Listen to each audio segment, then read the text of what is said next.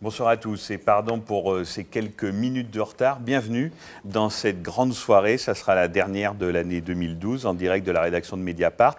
Grande soirée consacrée évidemment, comme je l'annonçais tout à l'heure en prenant l'antenne à 18h, à l'affaire Cahuzac, mais plus généralement à l'évasion fiscale. Ça sera le thème de cette soirée. J'en profite euh, pour faire les annonces qui s'imposent, parce que si je ne les fais pas au début, j'oublie. Mediapart, tous les contenus de Mediapart sont en accès libre jusqu'à minuit ce soir. Et il y a un abonnement qui coûte 9 euros pour les trois prochains mois. Je le dis parce que l'indépendance rédactionnelle et le journalisme a un coût et Mediapart ne vit que de ses lecteurs. Nous sommes dix jours plus tard, dix jours après, le 4 décembre, c'était euh, il y a exactement dix jours, un article de Fabrice Arfi révélait l'existence du compte, du compte suisse du ministre euh, du budget Jérôme Cahuzac. C'était exactement il y a dix jours. On a l'impression que plus de temps euh, s'est écoulé depuis parce qu'on en a énormément parlé. Donc avec Edoui Plenel et toute la rédaction de Mediapart ce soir, nous voulons vous raconter cette affaire, vous en raconter les tenants, les aboutissants, les dessous, mais surtout peut-être ce que révèle cette affaire, quel est son contexte, qu'est-ce que révèle euh, l'affaire Cahuzac sur la démocratie, sur la presse, sur la classe politique et son rapport à l'argent, sur la gauche qui est au pouvoir en France depuis maintenant six mois, ou plutôt sur cette gauche de gouvernement-là? C'est une expression qui a fait Flores après Alain Badiou, mais on pourrait dire de quoi cette affaire-là est-elle le nom? C'est ce que nous allons essayer de faire dans ce premier plateau pendant à peu près une heure. Pour ça, quatre journalistes de Mediapart, cinq avec Edoui, sont autour de moi. Fabrice Arfi. Fabrice qui a révélé l'affaire, donc maintenant il y a dix jours, au cœur de l'affaire. Il est complètement épuisé parce qu'il court euh, les plateaux euh, de télévision. Et l'enquête. Et, et, en, plus tu travailles. Tu viens par exemple de chez nos amis d'arrêt sur image qui viennent d'enregistrer une émission avec toi, donc tu as répondu à beaucoup de questions. Tu vas continuer ce soir. Mathilde Mathieu, Mathilde en particulier a enquêté sur tout le volet euh, financier de l'affaire, c'est-à-dire d'où vient l'argent, Comment se transmet-il euh, Tu nous raconteras ça. Léna Ibredou, euh, tu suis l'exécutif pour Mediapart, donc euh, l'Élysée, Matignon. Tu étais à Bruxelles aujourd'hui. Donc comment l'onde de choc de l'affaire se répand à l'intérieur de l'exécutif, Dan Israël, spécialiste justement de l'étude eh bien, de l'évasion fiscale, comment ça marche, les paradis fiscaux, qu'est-ce que c'est que la technique de tout ça. On parlera de tout ça avec toi. Et puis Edoui Plenel, qui est à côté de moi, lui aussi, il a beaucoup fréquenté les plateaux de télévision euh, et de radio depuis une dizaine de jours. Et c'est les mêmes questions qui reviennent, et ces mêmes questions, on les reposera d'ailleurs, simplement on aura peut-être un peu plus plus de temps que d'habitude pour y répondre. Et puis on essaiera d'en rajouter d'autres. Alors Edoui, juste un mot avant de commencer avec Fabrice. Euh, et hors de toute caricature, hors de toute langue de bois, ça a été souvent présenté Mediapart contre le ministre, Mediapart veut la peau d'un ministre de gauche, pour bien montrer que Sarkozy, voilà, c'est fini, etc., qu'avec la gauche, on est capable d'appliquer le même traitement. J'ai beaucoup entendu tout ça qu'est-ce que c'est, quelle est l'importance du journalisme d'enquête, oui, d'enquête, d'investigation, et pourquoi ce journalisme-là a-t-il une place si importante à Mediapart? On est euh, au cœur euh, à la fois de la définition de ce qu'on a voulu faire avec Mediapart, et en même temps de la difficulté parfois de la réception quand on démarre. La particularité de Mediapart, à la différence de ce qu'on a souvent connu, c'est de faire ce qu'on pourrait appeler l'enquête d'initiative. Pas euh, le procès verbal sorti d'un dossier judiciaire, pas le cabinet d'un avocat qui transmet les informations qui arrangent son client. Si on prend toutes les affaires qui ont donné l'identité de Mediapart jusqu'à celle-ci, elles n'ont pas pour point de départ un dossier judiciaire. Mieux, ce sont les révélations de Mediapart qui ont mis en branle la justice. Par exemple, c'est passé inaperçu, mais deux jours après nos révélations sur Cahuzac, on apprenait que le juge Van Rimbeck a eu un supplétif pour enquêter sur le volet libyen du financement de M. Takedine. Et vous vous souvenez de nos révélations sur Nicolas Sarkozy et Kadhafi. Mais il en était de même au début de l'affaire Karachi, le rapport, déjà, c'était Fabrice Arfi, c'était en septembre 2008. Le rapport Nautilus, c'était avant la justice. Bettencourt, évidemment. Takedine, évidemment. Tapi aussi, évidemment. Et jusqu'à celle-ci. C'est là la caractéristique de Mediapart. Personne n'est venu frapper à notre porte pour dire faut que vous alliez chercher M. Cahuzac. Nous avons nous-mêmes enquêté. Et en enquêtant, nous sommes tombés sur ce compte suisse l'idée d'intérêt public est évidente. Ce n'est pas la gauche, la droite. Je me souviens d'un discours au Bourget. C'était il y aura bientôt un an de lancement de candidature de François Hollande. Il parlait du futur président. Et il disait que, avec le futur président, les fraudeurs, la République les rattrapera. Ben nous, on s'occupe que de la République les rattrape. En l'occurrence, nous sommes catégoriques, nous sommes fermes, on va détailler, on va répondre à toutes les questions. On en a même en direct, là, qui nous viennent des lecteurs. Mais nous sommes très au clair. Dans cette enquête où nous avons travaillé comme dans les précédentes, nous sommes totalement catégoriques sur le fait que l'actuel détenteur du ministre du Budget, du ministère du Budget, patron de l'administration fiscale, en charge de la lutte contre l'évasion et la fraude fiscale, a depuis le début des années 90, au moment où il quitte un cabinet ministériel, celui de la santé, où il était en charge de la pharmacie et des équipements lourds, a un compte suisse non déclaré, donc illégal, pour abriter des fonds qui ont été cachés à la richesse nationale, qu'il l'a gardé pendant une vingtaine d'années, qu'il l'a fermé début 2010, et que ses avoirs ont été transférés dans la technique des paradis fiscaux vers Singapour. Nous sommes affirmatifs, catégoriques. Nous allons détailler nos preuves, nos éléments, notre façon de travailler. Voilà exactement quelle est cette histoire. Et il y aura un second plateau tout à l'heure où Martine Orange viendra remplacer à côté de moi Edoui Plenel, où nous étendrons le débat justement à l'évasion fiscale. Comment ça marche? Les paradis fiscaux, après la crise d'il y a 4 ans, tout ça c'était terminé, c'était une nouvelle ère. On voit que tout s'est perpétué, tout continue. On y consacrera presque une heure tout à l'heure. Mais alors justement, une question de lecteur. Je vais poser la question à Fabrice Arfi, 18h01, Jacques Chopin, abonné à Mediapart. Que cherchez-vous avec le feuilleton Cahuzac À le faire démissionner? Dites-le, comme cela, les choses seront claires. Non, nous, on n'est pas euh, responsable des conséquences euh, politiques euh, de nos enquêtes. Qu'est-ce qu'on cherche? On cherche à révéler des informations d'intérêt public. Point barre. C'est-à-dire que si en effet le ministre du Budget, et c'est le cas, puisque nous l'affirmons et nous le répétons, a détenu un compte en Suisse non déclaré euh, est soustrait à, la solidarité nationale, alors qu'il est censé être le garant, c'est ce que disait Edoui, de la lutte contre la fraude fiscale, on est euh, au cœur de l'information d'intérêt public. Euh, après, je crois que, bon, les faits, pour nous, ils sont évidemment avérés, nous sommes affirmatifs. Et comment peut-il évidemment rester au gouvernement? Voilà, mais c'est pas pas à nous de prendre ces décisions-là. Nous, nous mettons des informations sur la table. Elles doivent maintenant alimenter la conversation démocratique. Fabrice, avant de détailler comment, pourquoi nous sommes catégoriques et les éléments de preuve, je voudrais expliquer, au-delà du fait de dire qu'il est le patron de l'administration fiscale, pourquoi très concrètement c'est un conflit d'intérêts la situation dans laquelle il est aujourd'hui, y compris en démentant nos, nos informations.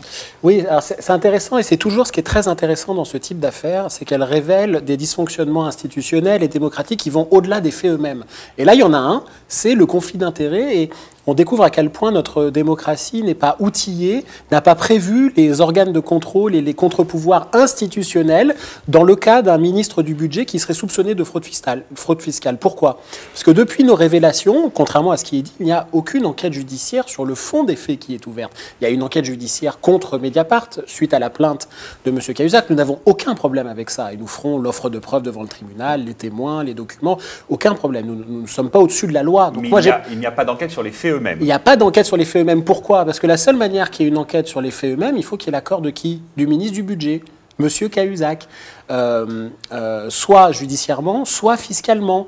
Euh, de la même manière, nous avons aujourd'hui un juge en France qui s'appelle Guillaume Daïef, un juge d'instruction parisien, financier, qui enquête sur une affaire qui s'appelle UBS, qui concerne les comptes cachés des Français à l'UBS en Suisse ou ailleurs. Qui est partie civile dans ce dossier? Le ministère du Budget, Jérôme Cahuzac. Donc on voit qu'on est là dans une situation de conflit d'intérêts institutionnels qui verrouille la possibilité d'aller plus loin judiciairement sur le chemin de la vérité. Est-ce qu'on peut raconter, euh, Fabrice, comment cette affaire a commencé? On a bien compris qu'un journaliste avait des sources et que pour ne pas se défausser d'abord de sa propre responsabilité de journaliste, il ne peut pas se défausser justement sur ses sources. Donc je ne demande pas évidemment des noms. Mais en revanche, est-ce qu'on peut raconter quel fil on tire comment une histoire pareille commence Alors, Edoui parlait tout à l'heure d'une sorte de journalisme d'initiative. Et là, ça en est en fait un peu la caricature. C'est-à-dire que parfois, il peut arriver qu'on soit euh, alerté par quelqu'un qui nous dit euh, oh, J'ai l'impression qu'il y a euh, des faits à aller gratter de ce côté-là, ou une source habituelle, en confiance, qui nous donne un document et qui déclenche une enquête, etc. Là, c'est pas du tout le cas. C'est-à-dire que ce qui s'est passé, c'est voilà, c'est une partie de notre métier consiste parfois à avoir l'esprit un peu mal tourné. Et quand on a vu juste, on peut dire plus, plus, Quand, on a vu juste, on appelle ça une intuition. Puis quand on a dit faux, c'est quand on a, quand on dit faux, c'est un a priori. Voilà. Bon, quelle est l'intuition que nous avons euh, sur cette affaire? Quand nous révélons à Mediapart l'affaire euh, Bettencourt, il se trouve que moi, j'ai au téléphone euh, Jérôme Cahuzac, qui est président de la commission des finances, et de manière assez opportuniste, je me dis, voilà, président de la commission des finances, socialiste, affaire Bettencourt, peut-être qu'il y a moyen d'avoir euh, des infos. Bon. Et je le trouve très en arrière de la main sur Eric Woerth très très en arrière de la main. Et le 20 juin 2010, au micro de la radio J, il déclare il n'y a pas d'affaire Bettencourt, il n'y a pas d'affaire Wörth. Wörth est un homme honnête. Bon. Donc il y a ce premier, première petite impression qui passera avec le temps, puisqu'on fera beaucoup d'autres enquêtes, etc. Et en mai 2012, et, euh, Jérôme Cahuzac, Eric Woerth, nommé au ministère du Budget, quelle est sa première décision? Pas la deuxième, la première, c'est de commander un, universitaire ami, qui est également proche d'un autre ami à lui, euh, Guy Carcassonne, universitaire spécialiste du droit public, qui s'appelle Philippe Terner, qu'il avait fait travailler à la mairie de Villeneuve-sur-Lot sur les huiles végétales. Il lui demande de faire un rapport sur l'affaire de Compiègne. Cette affaire, autre affaire parallèle à l'affaire Bettencourt, qui met en cause Éric C'est l'affaire de l'hippodrome. L'affaire de l'hippodrome de Compiègne. Et qu'est-ce qu'on découvre Que ce spécialiste du droit public, qui n'est pas spécialiste de l'immobilier, qui n'est pas spécialiste des domaines, qui n'est pas spécialiste des forêts, qui n'est pas spécialiste des hippodromes, pond un rapport de 10 pages qui blanchit littéralement Eric Woerth. Là où il y a une enquête judiciaire. Qui le blanchit de quoi, Fabrice En un mot, bah, rappelez l'affaire. L'affaire dans l'affaire. L'affaire de l'hippodrome de Compiègne, c'est que Eric Woerth a bradé euh, un bien de l'État au profit d'amis. Donc euh, ça peut être une, voilà, une prise illégale d'intérêt, un trafic d'influence. sous-évalué, sous-vendu. Sous-vendu en connaissance de cause, un, bien public. Euh, voilà, euh, donc c'était très mauvais pour les finances de l'État. Il y a, y a, une enquête judiciaire ouverte bien avant que Jérôme Cahuzac arrive à Bercy. Et la Cour de justice de la République qui enquête avait mandaté trois spécialistes, trois experts judiciaires dans tous les domaines que nous citons, qui eux ont rendu pas un rapport de 10 pages, un rapport de 155 pages, qui était accablant pour Eric Woerth et qui était déjà connu, puisque Mediapart, Michel Deléan, chez nous, l'avait notamment euh, révélé. Et donc, je me dis, mais, mais Qu'est-ce que ça cache Si ça cache quelque chose, pourquoi le ministre du Budget se sent le besoin, dès qu'il arrive au ministère du Budget, d'aller commander un rapport, sincèrement, euh, je ne vais pas dire Xavier Tibéry, mais un rapport de 10 pages pour blanchir son, son, son, la son prédécesseur? Précision sur ce rapport, les pièces qu'ont les experts de la Cour de justice de la République ce supposé expert ne les a pas vues. Ben non, il ne peut pas. Il ne pouvait pas. il ne pouvait pas. Donc c'était un rapport à l'aveugle presque. Et voilà quel est le, déclencheur de l'enquête de Mediapart à l'été euh, dernier. Donc on est euh, six mois plus tard. Et donc là, mais très classiquement, on commence à s'intéresser euh, au parcours politique de Jérôme Cahuzac, à son parcours professionnel, la chirurgie, sa clinique, euh, ses rapports au laboratoire, euh, l'entreprise de, lobbying pharmaceutique qu'il avait, qui s'appelait Cahuzac Conseil. On tire un fil, on découvre une histoire, une deuxième, une troisième, on se déplace en France, ailleurs, on enquête, on rencontre des dizaines et des dizaines de, de personnes, jusqu'au moment où commence à poindre euh, cette information qui n'en est pas une à l'époque, qu'il y aurait un compte suisse. Bon, et qu'il y aurait des éléments matériels. Alors nous trouvons des sources, parce que nous avons des sources dans cette affaire, mais comme dans les autres, aux meilleurs endroits.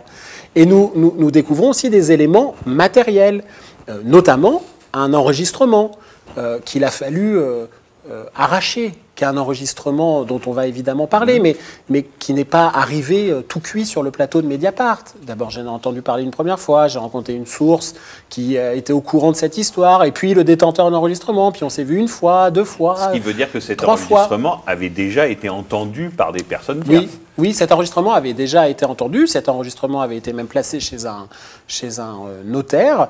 Et à force de discussion, de, voilà, j'ai pu en quelque sorte arracher ce document avec le, consentement de, de, la source, l'authentifier. De, de- A à Z, les circonstances dans lesquelles euh, il a été fait, qui sont complètement euh, rocambolesques, il faut bien le dire, mais on n'invente rien. Et puis, les sources que nous avons, qui nous permettent d'être absolument affirmatifs sur un certain nombre de détails, car il n'y a pas que l'enregistrement, il y a l'ouverture du compte, euh, il y a sa fermeture euh, euh, début 2010, qui n'est pas dans l'enregistrement, et les circonstances dans lesquelles tout cela s'est passé, et aujourd'hui les mensonges, ou en tout cas les non-réponses de Jérôme Cahuzac par rapport à nos questions Alors, qui sont alors ça, précises. on, ça, on va y venir. Mais justement, euh, sur la certitude, parce que Ouais. premier article, donc, le ministre du Budget, Jérôme Cahuzac, possède un compte en Suisse, d'accord. Article d'Edoui Plenel quelques jours plus tard, où il dit en gros, le secret bancaire pour les journalistes, c'est comme le secret défense. C'est le truc impossible à percer, quasiment impossible à percer. Alors, tu dis, nous avons les, les meilleures sources dans les meilleurs endroits. Mais la Banque suisse, UBS, enfin là, on est face quand même à un mur que, personne ou presque n'arrive jamais à percer. Donc comment peut-on faire, et c'est ce qu'on entend depuis dix jours, la preuve, la preuve, la preuve. Je me souviens d'une émission de télévision où tu étais sur le plateau, Jean-Michel Apathy, pour ne pas le nommer, tu as dit, montrez-moi montrez-moi le relevé bancaire avec le compte suisse et marqué Jérôme Cahuzac. C'est-à-dire qu'il demandait une preuve qui, par définition, n'existe pas, puisque c'est le secret bancaire, la Suisse. Mais- comment fait-on avec le secret bancaire? Comment il peut y avoir le secret bancaire forteresse imprenable d'un côté et la certitude absolue de l'autre? Ben, il y a le Voilà ma question. Il y, a, y y le journalisme entre les deux. Euh, simplement, un- un- peut-être un tout petit recul historique, journalistique. Hein. Euh, prenons l'affaire Ben Barka, révélée par euh, Jacques de Rogy dans l'Express. Y a-t-il le moindre élément matériel dans l'enquête de Jacques de Rogy? Il n'y en a pas. Prenons l'affaire, euh, le Graal journalistique du Watergate. Dans l'enquête du Washington Post de, de Carl Bernstein et Bob Woodward, y a-t-il le moindre élément matériel? La preuve, la preuve, la preuve. Il n'y en, a pas. Prenons l'affaire des, plombiers de micro du, du canard enchaîné, les plombiers du canard, hein, qui espionnent le canard enchaîné. Claude Angéli révèle l'identité des agents de la DST qui ont posé les micros euh, une semaine euh, après. Claude Angéli a-t-il la moindre preuve documentaire de cela? Il ne l'a pas. Euh, Edoui Plenel, l'affaire du Rainbow Warrior qu'il révèle dans le monde, est-ce qu'il a, quand il sort le Rainbow Warrior, l'ordre de mission de Charles Hernu écrit qui demande à la DGSE de couler le bateau Non. Il dit même qu'il en avait dix fois moins que Mediapart aujourd'hui. Qu'est-ce que je veux dire Qu'est-ce qu'est-ce que je veux dire par là? Qu'est-ce que je veux dire par là? C'est que les journalistes ont des sources. Mais dans l'affaire Cahuzac, nous avons des sources et nous avons des preuves. Nous avons les deux. Et il y en a une qui n'est quand même pas des moindres. Nous avons l'enregistrement qui montre que celui qui parle le mieux de son compte suisse, c'est Jérôme Cahuzac. Qui n'est pas, quand même, juste pour mettre les choses en perspective, depuis que nous avons diffusé l'enregistrement, avez-vous entendu une seule fois de la bouche de Jérôme Cahuzac un démenti? Est-ce qu'il a dit c'est pas vrai, c'est pas moi, c'est pas ma voix? Il a dit que ah, ça ne l'impressionnait pas. ah oui, mais alors là, c'est des psychanalystes. J'imagine que c'est à ça qu'il qu'il- allusion. Il a, dit, il a dit ce qu'avance Mediapart ne Ah oui, m'impressionne mais pas. là, je voudrais- Personne ne demande à Jérôme Cahuzac d'être euh, impressionné ou convaincu. Il n'y a pas eu de démenti. Bon. Il n'a Par- pas dit c'est pas moi sur cette bande. Mais non, il n'a jamais, il n'a jamais démenti. Nous avons depuis, euh, il n'a pas déposé plainte pour faux ou quoi que ce soit. C'est très simple. Soit cette bande, c'est le fruit d'un montage et nous sommes dans une forgerie digne de Clearstream. Euh, et alors là, honte sur nous si on s'est vous trompé. êtes d'une naïveté sans nom, puisque vous diffusez Pete. des montages dignes de Thierry Luron. Quoi. Voilà, voilà. Ou alors, euh, voilà, on a Gérald Dahan est un pigiste caché de, Mediapart, etc. Bon. Euh, ou alors, c'est une preuve absolument irréfutable, avec des éléments, notamment dans la bande, d'identification très simple. Hein. Ne serait-ce que la voix. Chacun, sincèrement, on prend un peu le temps au casque, parce qu'on entend toujours cette médiocre qualité. Bah, évidemment, on ne va pas avoir une bande en Dolby Surround THX. Euh, voilà, c'est évidemment qu'elle est de mauvaise qualité. Il n'est pas venu le dire dans un studio de radio. non. Ah, Donc si on prend le casque, on écoute patiemment, pas, pas une fois, pas deux fois, quinze fois, qu'on compare avec des interviews à voix basse de euh, Jérôme Cahuzac. Euh, ici, des professionnels sont venus pour nous assurer que la bande n'était pas le fruit d'un montage, mhm. hein, je veux dire techniquement. Bon, la bande, nous avons pu faire par ailleurs authentifier la, la voix auprès de, on va dire, d'un entourage de Jérôme Cahuzac. Et puis il y a un élément d'authentification factuel dans la bande. Quand il dit Il n'est pas exclu que je devienne maire en mars prochain. La bande date de la fin, l'enregistrement date de la fin de l'année 2000. Et que se passe-t-il en mars de l'année prochaine, en mars 2001 Jérôme Cahuzac devient maire de Villeneuve-sur-Lot. Il y a les municipales de Villeneuve-sur-Lot et il devient euh, en, effet euh, maire. Après cet article, nous avons révélé à Mediapart l'identité du correspondant de M. Cahuzac. Hervé Dreyfus, qui était son, gestionnaire de fortune et celui qui était chargé de gérer notamment les avoirs cachés. Avez-vous entendu le moindre démenti de Jérôme Cahuzac, de Hervé Dreyfus? C'est-à-dire que ce que je veux dire, c'est que depuis que nous avons révélé l'enregistrement et les enquêtes qui ont suivi, on entend les mouches voler au ministère du Budget. Et pour cause, et pour cause, l'État sait très bien de quoi nous parlons. Edoui. Non, je voudrais expliquer parce qu'on blague, mais en même temps, il y a dans, le. On n'a pas blagué beaucoup. Non, non, hein. non. C'était juste Géralda en hein, la blague. Mais, c'est très bien. Non, mais moi, je ne se refait pas. Non, mais ce que je veux dire, c'est que c'est par rapport à ceux qui nous écoutent. C'est-à-dire que dans la. Une information, il y a la, question de sa réception. Euh, on est au tout début de cette affaire. Et tout d'un coup est arrivé un ovni qui s'appelle Mediapart. Le paysage n'était pas fait. Les gens n'étaient pas habitués. Donc tout d'un coup, il y a quelque chose qui débarque et qui surprend. Ce ministre réussit, ce ministre s'est imposé, il est là, il est au cœur, il a des réseaux médiatiques. Le premier qui nous appelle n'est pas M. Cahuzac, c'est M. Stéphane Fuchs, qui s'occupait déjà de la, de la communication de, euh, de M. Strauss-Kahn. Donc c'est ce monde-là qui est là et qui est dans les rédactions. Et donc, ce qui se passe, c'est que l'impact de nos informations passe au filtre de gens, pour dire les choses sincèrement, qui, euh, depuis longtemps, s'ils en ont fait dans le passé, ne font pas d'enquête, ne font pas de terrain. Et donc, font une pédagogie de notre métier qui est trompeuse. Notre métier, nous, journalistes, n'est pas un métier de juge ou de policier. Nous ne sommes pas là pour dire voilà la preuve finale qui fait que vous allez être ou non condamné. Notre métier est un lanceur d'alerte. Nous sommes des chiens de garde, comme on dit, de la démocratie. Nous répondons à des règles. Les règles, on pourrait dire, c'est celles qui font que vous faites un bon puzzle. Hein. il faut que les pièces s'ajustent hein, et que vous ne vous trompez pas de pièces. Et ça, c'est ce qu'on appelle le recoupement, la vérification, le fait d'avoir des sources différentes, multiples. Quand une enquête comme celle-là a lieu, Fabrice, il n'est pas tout seul dans son coin, comme n'importe quel autre. Ici, à Mediapart, il ne va pas en vadrouille et puis un jour, il dit, au fait, les gars, euh, j'ai un truc. Il y a des va-et-vient permanents, il y a des discussions. Quand on se dit que c'est prêt. Avant, on s'est dit, mais c'est peut-être pas prêt. On s'est dit, il y a un doute. Est-ce qu'on peut y aller? Est-ce que là, toutes ces questions, on se les est posées avant. On joue notre réputation. On sait qu'il va y avoir forcément une polémique. On sait qu'il est de droit que la personne mise en cause puisse nous poursuivre et qu'il va falloir faire une ouf de preuve. Donc aller devant un tribunal, tenir debout. Hein. on s'est posé même des questions très importantes qui sont dans l'artisanat du métier. Laisser le temps de la réaction. On a prévenu le lundi. Donc on a laissé les communicants se mettre en branle. Mhm. On ne s'est pas dit, tiens, on leur donne que trois heures. On s'est dit, on leur donne une journée entière. Et on leur a dit qu'on laissait le temps. Parce qu'on voulait voir M. Cahuzac. Donc, on fait tout ce travail. Donc, notre travail, c'est de mettre quelque chose dont nous sommes prêts à rendre compte sur la base de sources multiples et diverses, de documents multiples et diverses, de recoupements multiples et diverses qui sont là sur la table. Et voilà, ils sont là devant tout le monde. Donc quand nous disons les preuves sont sous vos yeux et vous ne voulez pas les voir, nous nous adressons un peu, au fond, à ce filtre qui est construit dans le grand public par euh, des gens qui, ont oublié ce que c'est que l'enquête. Fabrice. Oui, parce qu'en en fait, je, je, découvre, enfin, on, plutôt, cette affaire révèle à quel point une partie des, des confrères, vous avez cité Jean-Michel Apathy, mais, mais d'autres, euh, se transforment, eux, en jurés populaires, en disant on en veut plus, des preuves, des preuves pour qu'on puisse juger. Le tribunal de l'opinion, c'est nous. Mais c'est pas comme ça que ça se passe. Nous, nous ne sommes pas procureurs, nous ne sommes pas flics, nous ne sommes pas juges. Donc nous mettons des informations sur la table, nous les assumons.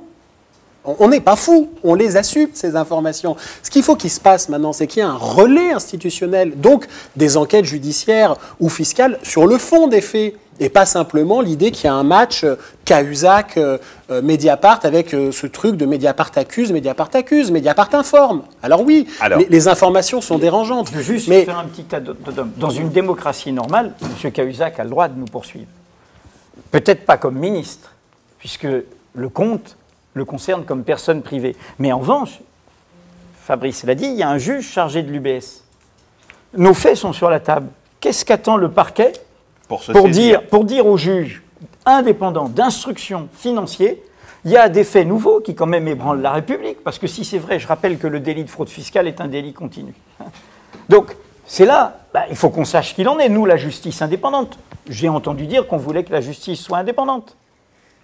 Donc le parquet devrait faire ça, le juge devrait avoir un supplétif, comme l'on dit, pour clarifier cette affaire. Ça, c'est ça le fonctionnement d'une démocratie normale. Autre question, tout de même, l'accusation de feuilletonnage. Ça, je l'ai beaucoup entendu depuis dix jours. Ils commencent par une accusation, ils sont sûrs de leur coup. Seconde preuve, deux, jours plus tard, Edoui a commencé, à répondre. Mais j'aimerais insister là-dessus. Troisième, on sait à qui il parlait.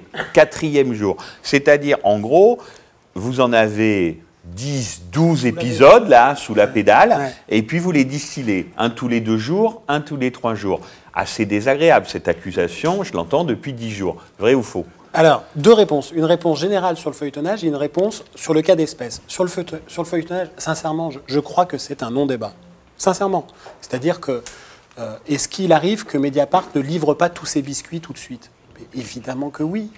Mais qui va nous le reprocher? On est des toutes petites choses là. On est une petite barque avec nos rames face à des paquebots gigantesques qui s'appellent l'État, le gouvernement, les agences de communication, parfois les services de renseignement avec qui on a eu affaire dans des affaires précédentes. On va nous reprocher. N'oubliez pas la finance.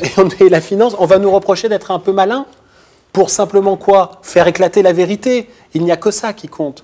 Donc moi, j'ai aucun problème avec ça. Quand le canard enchaîné révèle euh, les financements troubles de l'appartement de Nicolas Sarkozy sur l'île de la Jatte, est-ce qu'il publie les documents? Non. Nicolas Sarkozy dément, la semaine d'après, le canard enchaîné sort tous les documents. Est-ce qu'on accuse le canard enchaîné de faire du feuilletonnage Non. Donc c'est un faux débat. Le cas d'espèce, la réponse. Quand, je fais quand nous faisons le premier papier à Mediapart, je n'ai pas l'autorisation de ma source de diffuser l'enregistrement. c'est la stricte vérité. Je n'ai pas son autorisation de diffuser l'enregistrement. L'enregistrement faisait partie, fait partie de notre offre de preuve en cas de procès. Mais la réaction de Jérôme Cahuzac a été tellement véhémente. C'est son droit. Il menaçait de procès sur Twitter, je crois, la première réaction. tout le monde. Quiconque, sur Twitter reprenait l'info. Quiconque se faisait l'écho de l'information. Voilà, voilà on s'est un peu retrouvé, pas au pied du mur, mais, mais face à cette situation un peu folle, face à nos informations, et, le ministre, enfin folle et prévisible en même temps, il dément. Démesuré. démesuré dans la réaction. Bon. Et donc, je, rappelle la source, je vois la source, on discute. Et la source me dit, bon, bon, bon, d'accord, allez-y. Et là, nous avons l'autorisation de diffuser l'enregistrement. Il faut comprendre que moi, j'ai aucun, aucune difficulté à créer de la frustration chez euh, des confrères euh, qui passent euh, leur temps de RTL au Grand Journal, du Grand Journal à RTL et de RTL au Grand Journal. J'ai aucun souci avec ça. je ne peux, pas, je peux pas rompre le pacte sacré de ma profession, le serment tacite et la protection des sources et le secret des sources. Donc, je préfère qu'il y ait ce petit débat euh, sans intérêt euh, pendant quelques jours et protéger mes sources pour que je continue l'enquête et je sorte des informations que me livrer euh, à ce cirque de jurés autoproclamés, des preuves, des preuves, des preuves, des preuves, mais qu'ils demandent des enquêtes, des enquêtes, des enquêtes. Comment as-tu obtenu l'enregistrement? Euh, bah, euh, non, mais bon, avec les sources, des fois, bon, euh, et donc à coup d'Armagnac, voilà. C'est-à-dire que. C'est un scoop de arrêt sur image. Oui, sur arrêt sur déjà dit tout à l'heure sur arrêt Voilà. sur image. Alors, Non, mais vous- non. non, né l'Armagnac. je sais pas, mais il était, il était bon. faut payer Non, mais- personne parfois. Non, mais euh, au-delà du sourire, euh, ce, que, ce que ça dit, c'est. c'est- euh, encore une fois, cet enregistrement ne nous est pas envoyé par la poste. Quoi. Voilà. C'est-à-dire que les informations, des fois, on va les chercher avec les dents. Voilà. Et c'est ce qui s'est passé. Et des fois, bah, avec les dents et avec la bouche, on peut aussi boire de l'armagnac et ça aide à convaincre les gens. Voilà. Parce qu'on a bien compris euh, à qui Jérôme Cahuzac parlait. Ça, c'est ça, c'est ça, c'est à peu près clair. En revanche, ce qu'on ne sait pas, c'est la personne de sa connaissance qu'il venait d'appeler, puisque visiblement il a réitéré, réitéré Voilà. le numéro à de qui il avait laissé un message. qui voilà, et donc l'enregistreur de cette personne a enregistré toute sa conversation ou une partie de sa conversation avec Oui, son gestionnaire, minutes, ouais. voilà, avec son gestionnaire de fortune. Moi, c'est des amis qui m'ont dit ça, hein, qui n'ont pas forcément de sympathie ni pour le ministre, ni pour Mediapart, qui ne sont pas journalistes, qui ne sont pas Jean-Michel Apathy, qui n'écrivent pas au canard enchaîné. Mais des amis m'ont dit, mais le type qui garde ça pendant des années, comme ça, qui l'écoute, qui sent que Mm. c'est. Mm. explosif, c'est un grand pervers et il ne doit pas l'aimer beaucoup. Alors, c'est plus compliqué que ça. Alors, J'imagine. Alors, je, je- encore une fois, moi, je ne peux pas parler à la place des sources. hein. Je Non, non, je- mais je- je suis pas le porte-parole des Je sources. pose une question, mais- je ne vais pas avoir une réponse très longue. Non, non, mais- la question, elle se Ah, pose. mais, mais elle se pose et, et la réponse va être donnée. Euh, ça revient à ce qu'a dit Edoui et le propos préliminaire de, de- de notre conversation. Nous sommes dans le cas d'une enquête d'initiative de Mediapart. Donc, je suis allé embêter des gens, moi, avec mon intuition ou mes a priori. C'est-à-dire que j'ai remué des choses à, plein d'endroits différents sur, sur euh, Jérôme Cahuzac. J'ai réveillé des fantômes. Donc, personne n'avait prévu, et surtout pas la source, que cet enregistrement, il il l'utilise. D'ailleurs, il ne l'a pas utilisé. Alors pourquoi il ne l'a pas utilisé? Parce que c'est compliqué. Parce que quand on est euh, comme ça destinataire d'un accident de l'histoire hallucinant comme euh, ce, pocket call, comme on appelle, le coup de fil euh, involontaire qui nous est tous arrivé, je crois, au moins une fois dans notre vie, et qu'il y a des informations en même temps explosives dedans d'intérêt public, mais c'est une conversation euh, surprise sans le consentement des personnes qui discutent, eh ben, le détenteur de cela n'a pas su quoi en faire. Mais je peux vous garantir que le détenteur est quelqu'un d'extrêmement honorable et que la vérité sur l'histoire de cet enregistrement l'honore. Je peux ajouter juste que Oui. j'ai tenu à rencontrer cette source en tant que directeur de la publication. et à- non pas que je ne fasse pas confiance à, à Fabrice, mais voilà, C'était- C'était c'était dire l'importance. l'importance de et, ça. et bien aussi, sûr. et aussi le Et- et risque je- pris. Et je peux dire, c'est le genre de source, voilà. Il y a des sources comme ça, il y a des sources, voilà, Ouais. des bonnes, des Voilà. très bonnes. C'est-à-dire que. Non, non, mais. Là, vous voyez, vous rigolez tous les deux parce que c'est votre métier de travailler avec ça. Mais ce que vient, ce que vient de dire Edoui, en fait, c'est qu'il y a des sources dont légitimement il faut encore être sûr, recouper, etc. Parce qu'on ne peut pas leur faire une confiance absolue comme ça. Mais, mais ça, c'est la source de l'enregistrement. Par ailleurs, il y a les autres sources qui nous permettent d'affirmer euh, le, le compte suisse. C'est-à-dire que euh, C'est le contexte, le c'est- puzzle. c'est- C'est-à-dire que le- là, là, nous parlons juste de la source de la bande son, mais il y a, y toutes les autres sources qui nous racontent l'histoire euh, du, du, du compte suisse. Encore une fois, les, les- les- les éléments d'information factuelle, quand, je- quand on raconte le déplacement de Jérôme Cahuzac discret début 2010, quand il se rend à Genève pour aller formellement clôturer le compte et en déplacer les avoirs dans un paradis fiscal euh, plus lointain, ça c'est pas l'enregistrement, puisque c'est dix ans euh, après. Vous avez vu quelle a été la réaction de Jérôme Cahuzac quand on l'a rencontré avec euh, François Bonnet, directeur éditorial de, de, de Mediapart? Donc là, vous y allez, vous allez au ministère Oui, du Budget. oui, et puis parce que Jérôme Cahuzac veut un directeur. Il veut pas parler qu'aux journalistes. Il veut donc euh, voilà très bien. Donc François vient et on va au bureau, euh, dans le bureau de, de Monsieur Cahuzac au ministère euh, du Budget. On l'interroge. Les questions sont, sont très précises. Je, l'interroge sur le, le- déplacement à Genève. L'entretien est enregistré hein, avec son accord. Et lui aussi nous enregistrait d'ailleurs. On avait euh, nos deux iPhones, Jérôme Cahuzac et moi-même, qui étaient collés sur la table et on enregistrait chacun euh, la même discussion. Je l'interroge sur le déplacement à Genève. Il a un- un- une sorte de, de démenti implicite. Pourquoi? Parce que je, je lui dis sur le déplacement à Genève, et puis il fait comme ça un peu non de la tête, et sa réponse c'est pas plus qu'à Milan, Rome ou New York. Je, dis, mais je repose la question, mais est-ce que vous êtes allé à Genève début 2010 ça Il dit, je ne vais pas vous le répéter, pas plus qu'à Milan, Rome euh, ou, New York. Bon, très bien. Le lendemain, au micro de Jean-Michel Apathy, qui est un peu la star euh, de ce soir, euh, Jérôme Cahuzac dit que ce déplacement est probable. Ah bon, donc ce déplacement qui était euh, plus ou moins démenti la veille devient euh, probable. Et il explique sa raison. Et, et alors, la raison est absolument euh, vertigineuse, c'est qu'en tant que député, car il n'est pas président de la commission des finances à l'époque, en tant que simple député, il va à Genève aller rencontrer des informateurs secrets qui ont des informations de nature fiscale à lui donner, qu'ils n'avaient pas très envie de traverser la frontière. Non mais On se dit que Jérôme mais- Cahuzac est peut-être journaliste à Mediapart. Voilà, ou aviseur du fisc, ou enquêteur fiscal. Avec un et- petit détail qui tue. et- il dit ouais.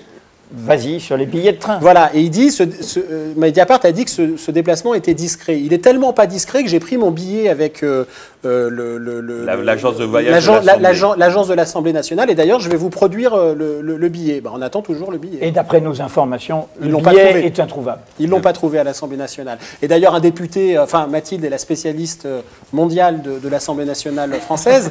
Euh, euh, un député, généralement, quand il fait ce genre de mission un peu officielle, euh, il peut être accompagné d'administrateurs ou d'autres personnes, etc. Bon, bah, pour l'instant, l'explication de, de Jérôme Cahuzac au micro de, de Jean-Michel Apathy, excusez-moi, mais Il- il va rarement se a- promener tout seul Elle a volé en éclats. Elle a volé en éclats. Fabrice, on va revenir, euh, on va revenir à l'en- à l'enquête proprement dite et on va parler évidemment de, de ses suites. Mais quand même, euh, Lénaïque une question sur la répercussion, parce que c'est quand même une bombe, cette affaire. C'est la première grande affaire du quinquennat Hollande, qu'on le veuille ou non. C'est le ministre du budget, donc pièce essentielle du dispositif, avec un choc fiscal de 60 euh, milliards. Voilà, ça tombe sur lui. Comment ça s'est propagé? Quelle a été la réaction de l'exécutif aux révélations de Mediapart? Alors la réaction dans le secret de leur bureau reste dans le secret de, leur bureau. On voit d'abord ce qu'ils ont dit. Effectivement, ça s'est propagé très vite, d'autant plus que Jérôme Cahuzac n'est effectivement pas un ministre comme les autres du gouvernement. Euh, d'abord à cause du poste qu'il occupe, dans la période, l'austérité, le plan d'austérité, effectivement, où il a un rôle majeur à jouer parce que, effectivement, ça fait partie des axes centraux de la politique de François Hollande que Jérôme Cahuzac est chargé de mettre en musique, et d'autant plus qu'il fait partie des rares ministres à avoir plutôt crevé l'écran depuis qu'il est ministre, parce qu'il est très exposé et aussi parce qu'il s'en est très bien sorti euh, médiatiquement et au Parlement, à l'Assemblée nationale, où euh, la droite a, fait un feu nourri sur le gouvernement depuis qu'ils sont arrivés, enfin moins depuis euh, leurs histoires de présidence, mais en tout cas où en juillet, en septembre, en octobre, ils étaient extrêmement virulents à l'Assemblée nationale. Celui qui est devenu une sorte de petite star de l'Assemblée nationale, c'est clairement Jérôme Cahuzac parce qu'il est extrêmement brillant.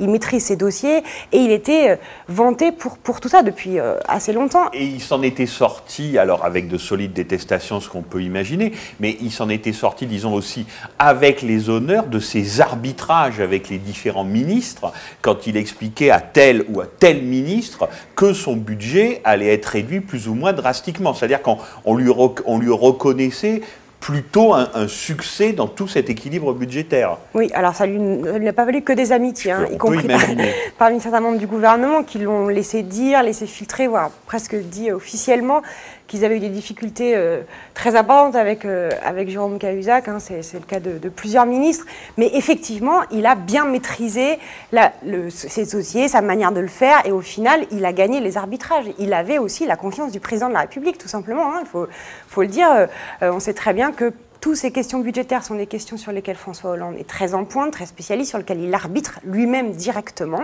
où l'Élysée a joué un vrai rôle sur les dossiers budgétaires en lien direct avec le ministre du Budget.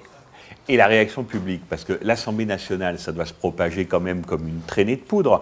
Or, il se trouve que ce journal, Mediapart, est lu et connu et a fait la démonstration qu'il ne racontait pas tout à fait n'importe quoi pendant le quinquennat de Nicolas Sarkozy. Donc là, il doit y avoir quand même une sorte de, de gêne, de malaise, c'est-à-dire que pour le dire presque de façon caricaturale, mais je le fais exprès, c'est pas le Figaro qui sort cette Bien affaire. C'est Mediapart. Alors comment ils réagissent à ça Alors effectivement, d'abord ils sont embarrassés. Alors il y a euh, les conseillers qu'on interroge directement là-dessus en disant voilà quelle est votre réaction tout simplement à l'Élysée à Matignon.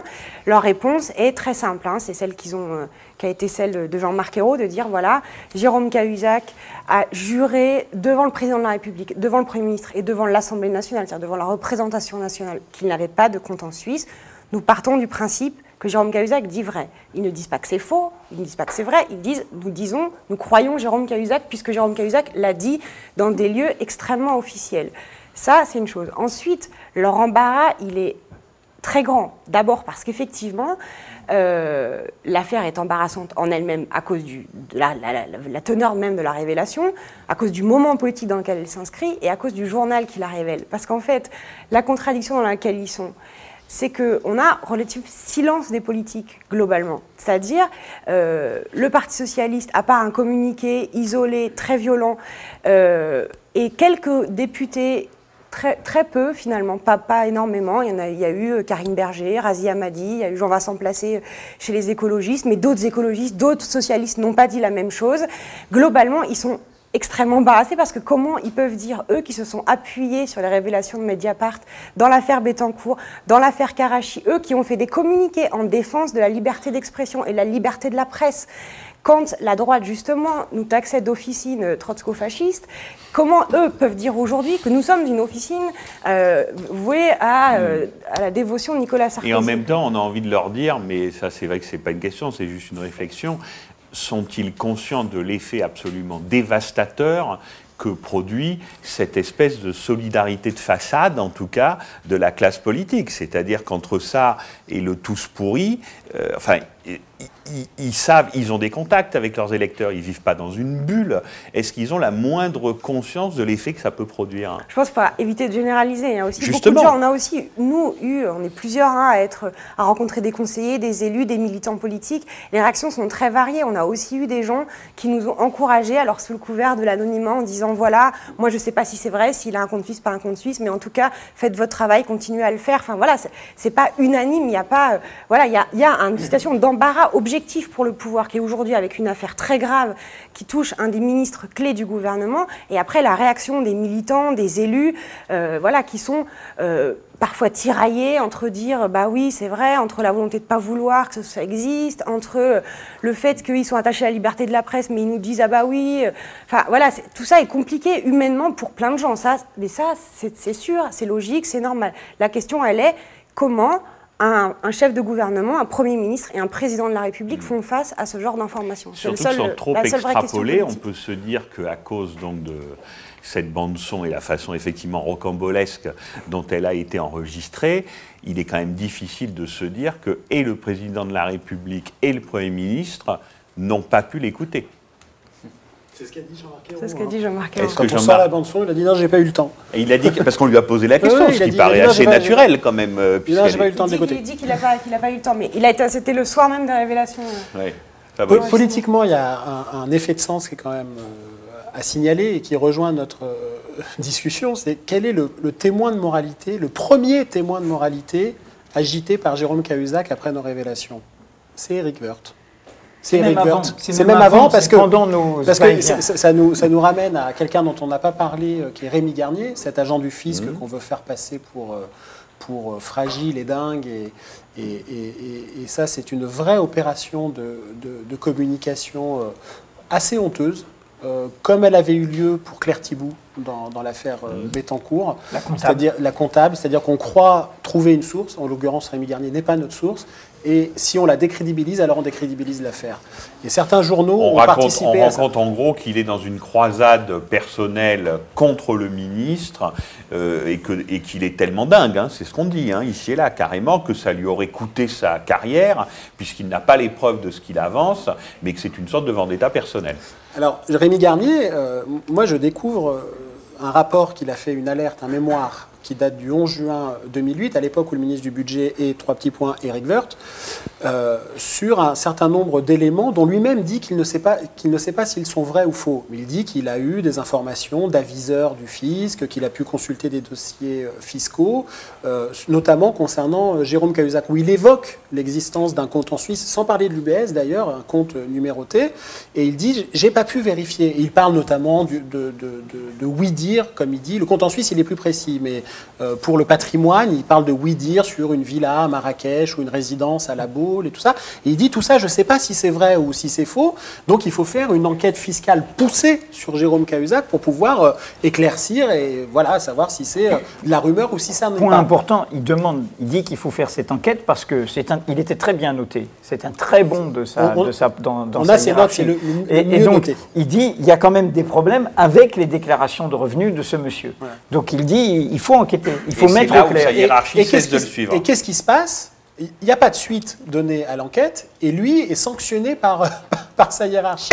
Et le ministre, d'ailleurs, Éric Woerth, du budget, signera un arrêté de, révocation. depuis, euh, Rémi Garnier a gagné tous ses combats devant la justice, hein, quand même. Quand même, il faut. C'est jamais dit dans les articles, hein, mais Rémi Garnier est réhabilité hein, quand même. Il a été euh, révoqué, il a été réintégré dans son, dans son, dans son service. Fabrice, puisqu'on en parle, simplement, Rémi Garnier, c'est pas la conclusion de notre enquête. Son rapport fait partie des déclencheurs sur le compte suisse. C'est notre enquête qui permet de vérifier sur le compte suisse que Rémi Garnier disait vrai. Mais évidemment qu'il peut se tromper sur la Baule et Marrakech. Lui-même le dit. Il dit c'est une alerte, il faut vérifier. Je ne sais pas si c'est vrai. Donc là encore, il y a eu une opération de com euh, euh, mise en place par euh, tous ces gourous autour de Jérôme Cahuzac pour trouver un élément dont nous ne parlons pas, c'est quand même extraordinaire. C'est-à-dire que c'est très politique, ça. On dément ce qui n'a jamais été affirmé, comme ça, on est sûr d'avoir raison.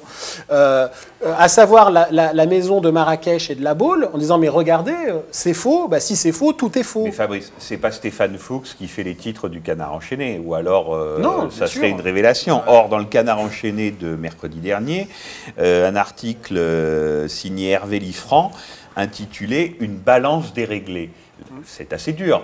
La balance des, la balance c'est d'une violence folle. C'est d'une violence folle. La balance déréglée, ça serait donc Rémi Garnier. Comment Alors, je pose la question, parce que ça aussi, évidemment, même le canard enchaîné dit que le type, ça tient pas la route, etc., etc., avec tout le poids et la réputation du canard enchaîné.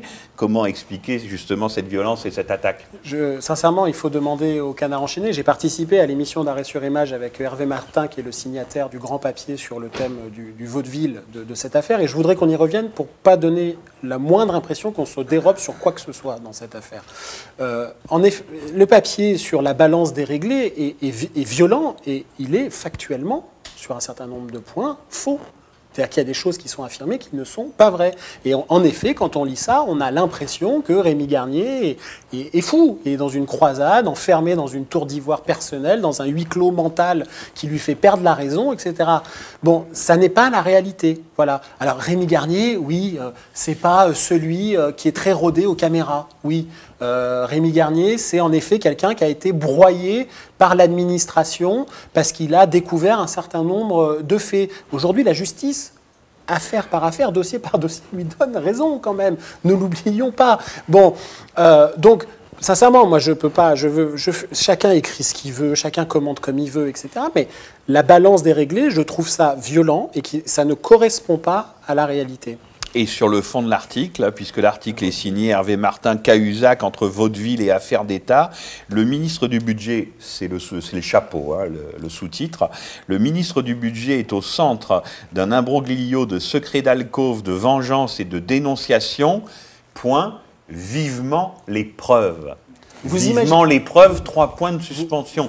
Ce qui est une façon très claire dans le chapeau du canard enchaîné de dire que ce qu'avance Mediapart n'en sont pas des preuves. Oui, ben, euh, imaginez si le Figaro, au moment où Claude Angéli, rédacteur en chef du canard enchaîné, révèle l'identité des agents de la DST composés les micros, écrit vivement l'épreuve va dire mais c'est scandaleux, le canard enchaîné, ils ont des sources, ils n'avaient pas de preuves. Nous, on a des preuves. La preuve, elle est, encore une fois, elle est sur la table, l'une des preuves, l'enregistrement. Donc il n'y a pas de difficulté euh, avec ça. Ce que je trouve euh, un peu surprenant dans, tout ça, c'est...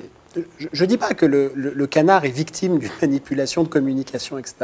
Mais cet article participe d'une diversion. d'une diversion sur le thème du vaudeville. C'est-à-dire que quand on lit le canard, excuse-moi, je te prends le- Ouais, ouais. l'exemplaire, de quoi parle-t-on? On parle des conquêtes de, de Jérôme Cahuzac. On donne le nom Hmm. d'une femme, une amante. On, on parle de Ici Paris Après nous avoir expliqué qu'il était en plein divorce. de- hein, de- euh, de ici Paris, de nous deux, euh, les- sur des confidences de comptoir, d'accord? De femmes jalouses. euh, De détectives de, privés de détectives privés de règlement de compte. Mais, mais ça, c'est la vie privée. En quoi ça nous intéresse, nous? Quel est le rapport entre ça et le compte suisse? Je veux dire, qu'il y ait des rumeurs, des règlements de compte, des femmes jalouses autour d'un ministre, mais peut-être. Mais autour de chaque membre du gouvernement, il y a des histoires dégueulasses qui circulent, euh, et peut-être même euh, euh, des rumeurs affreuses. Euh, et puis parfois, il y a des rumeurs qui sont, qui sont justes, qui sont vraies. Ça s'appelle des informations.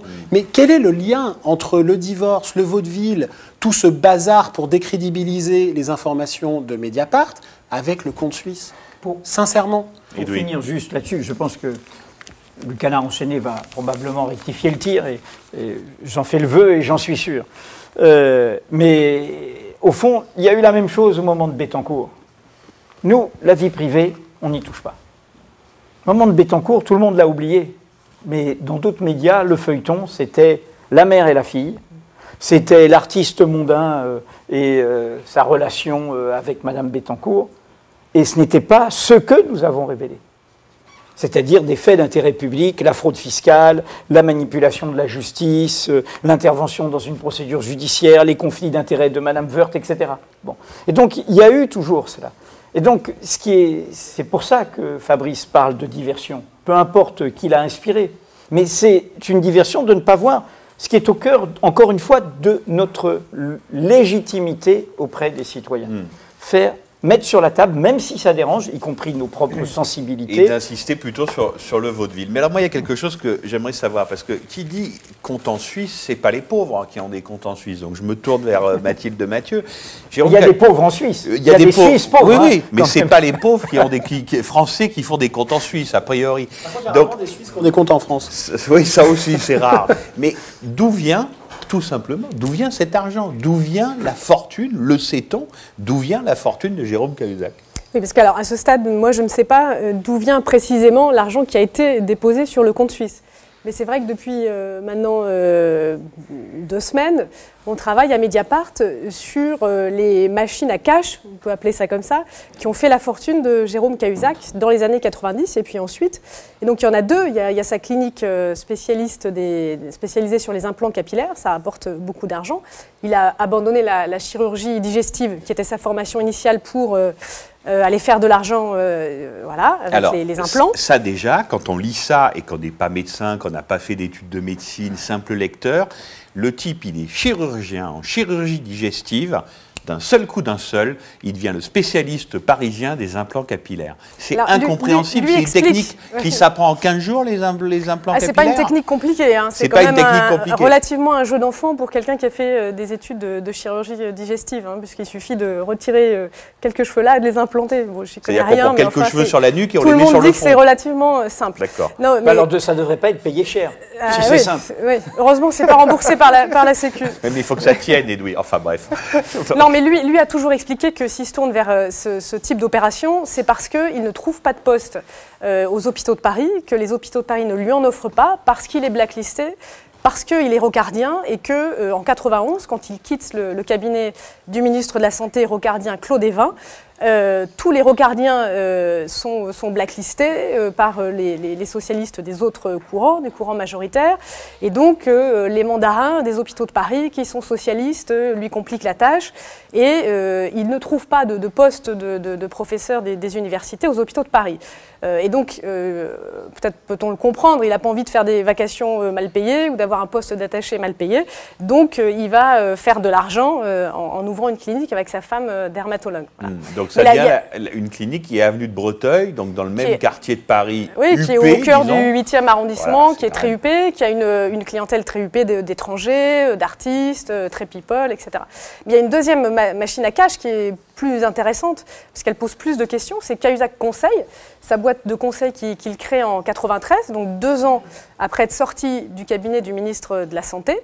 Euh, dans ce cabinet, il s'est occupé euh, du médicament, donc de, des autorisations de mise sur le marché, des médicaments, De la de la fixation, de la Précisément, pharmacie. son titre, Ouais. c'est conseiller technique pour la pharmacie et les équipements Oui, lourds. ça veut dire le- les, les médicaments, c'est ça. ça. C'est euh, la fixation de- des prix des médicaments et c'est la fixation du taux de remboursement par la Sécu des médicaments.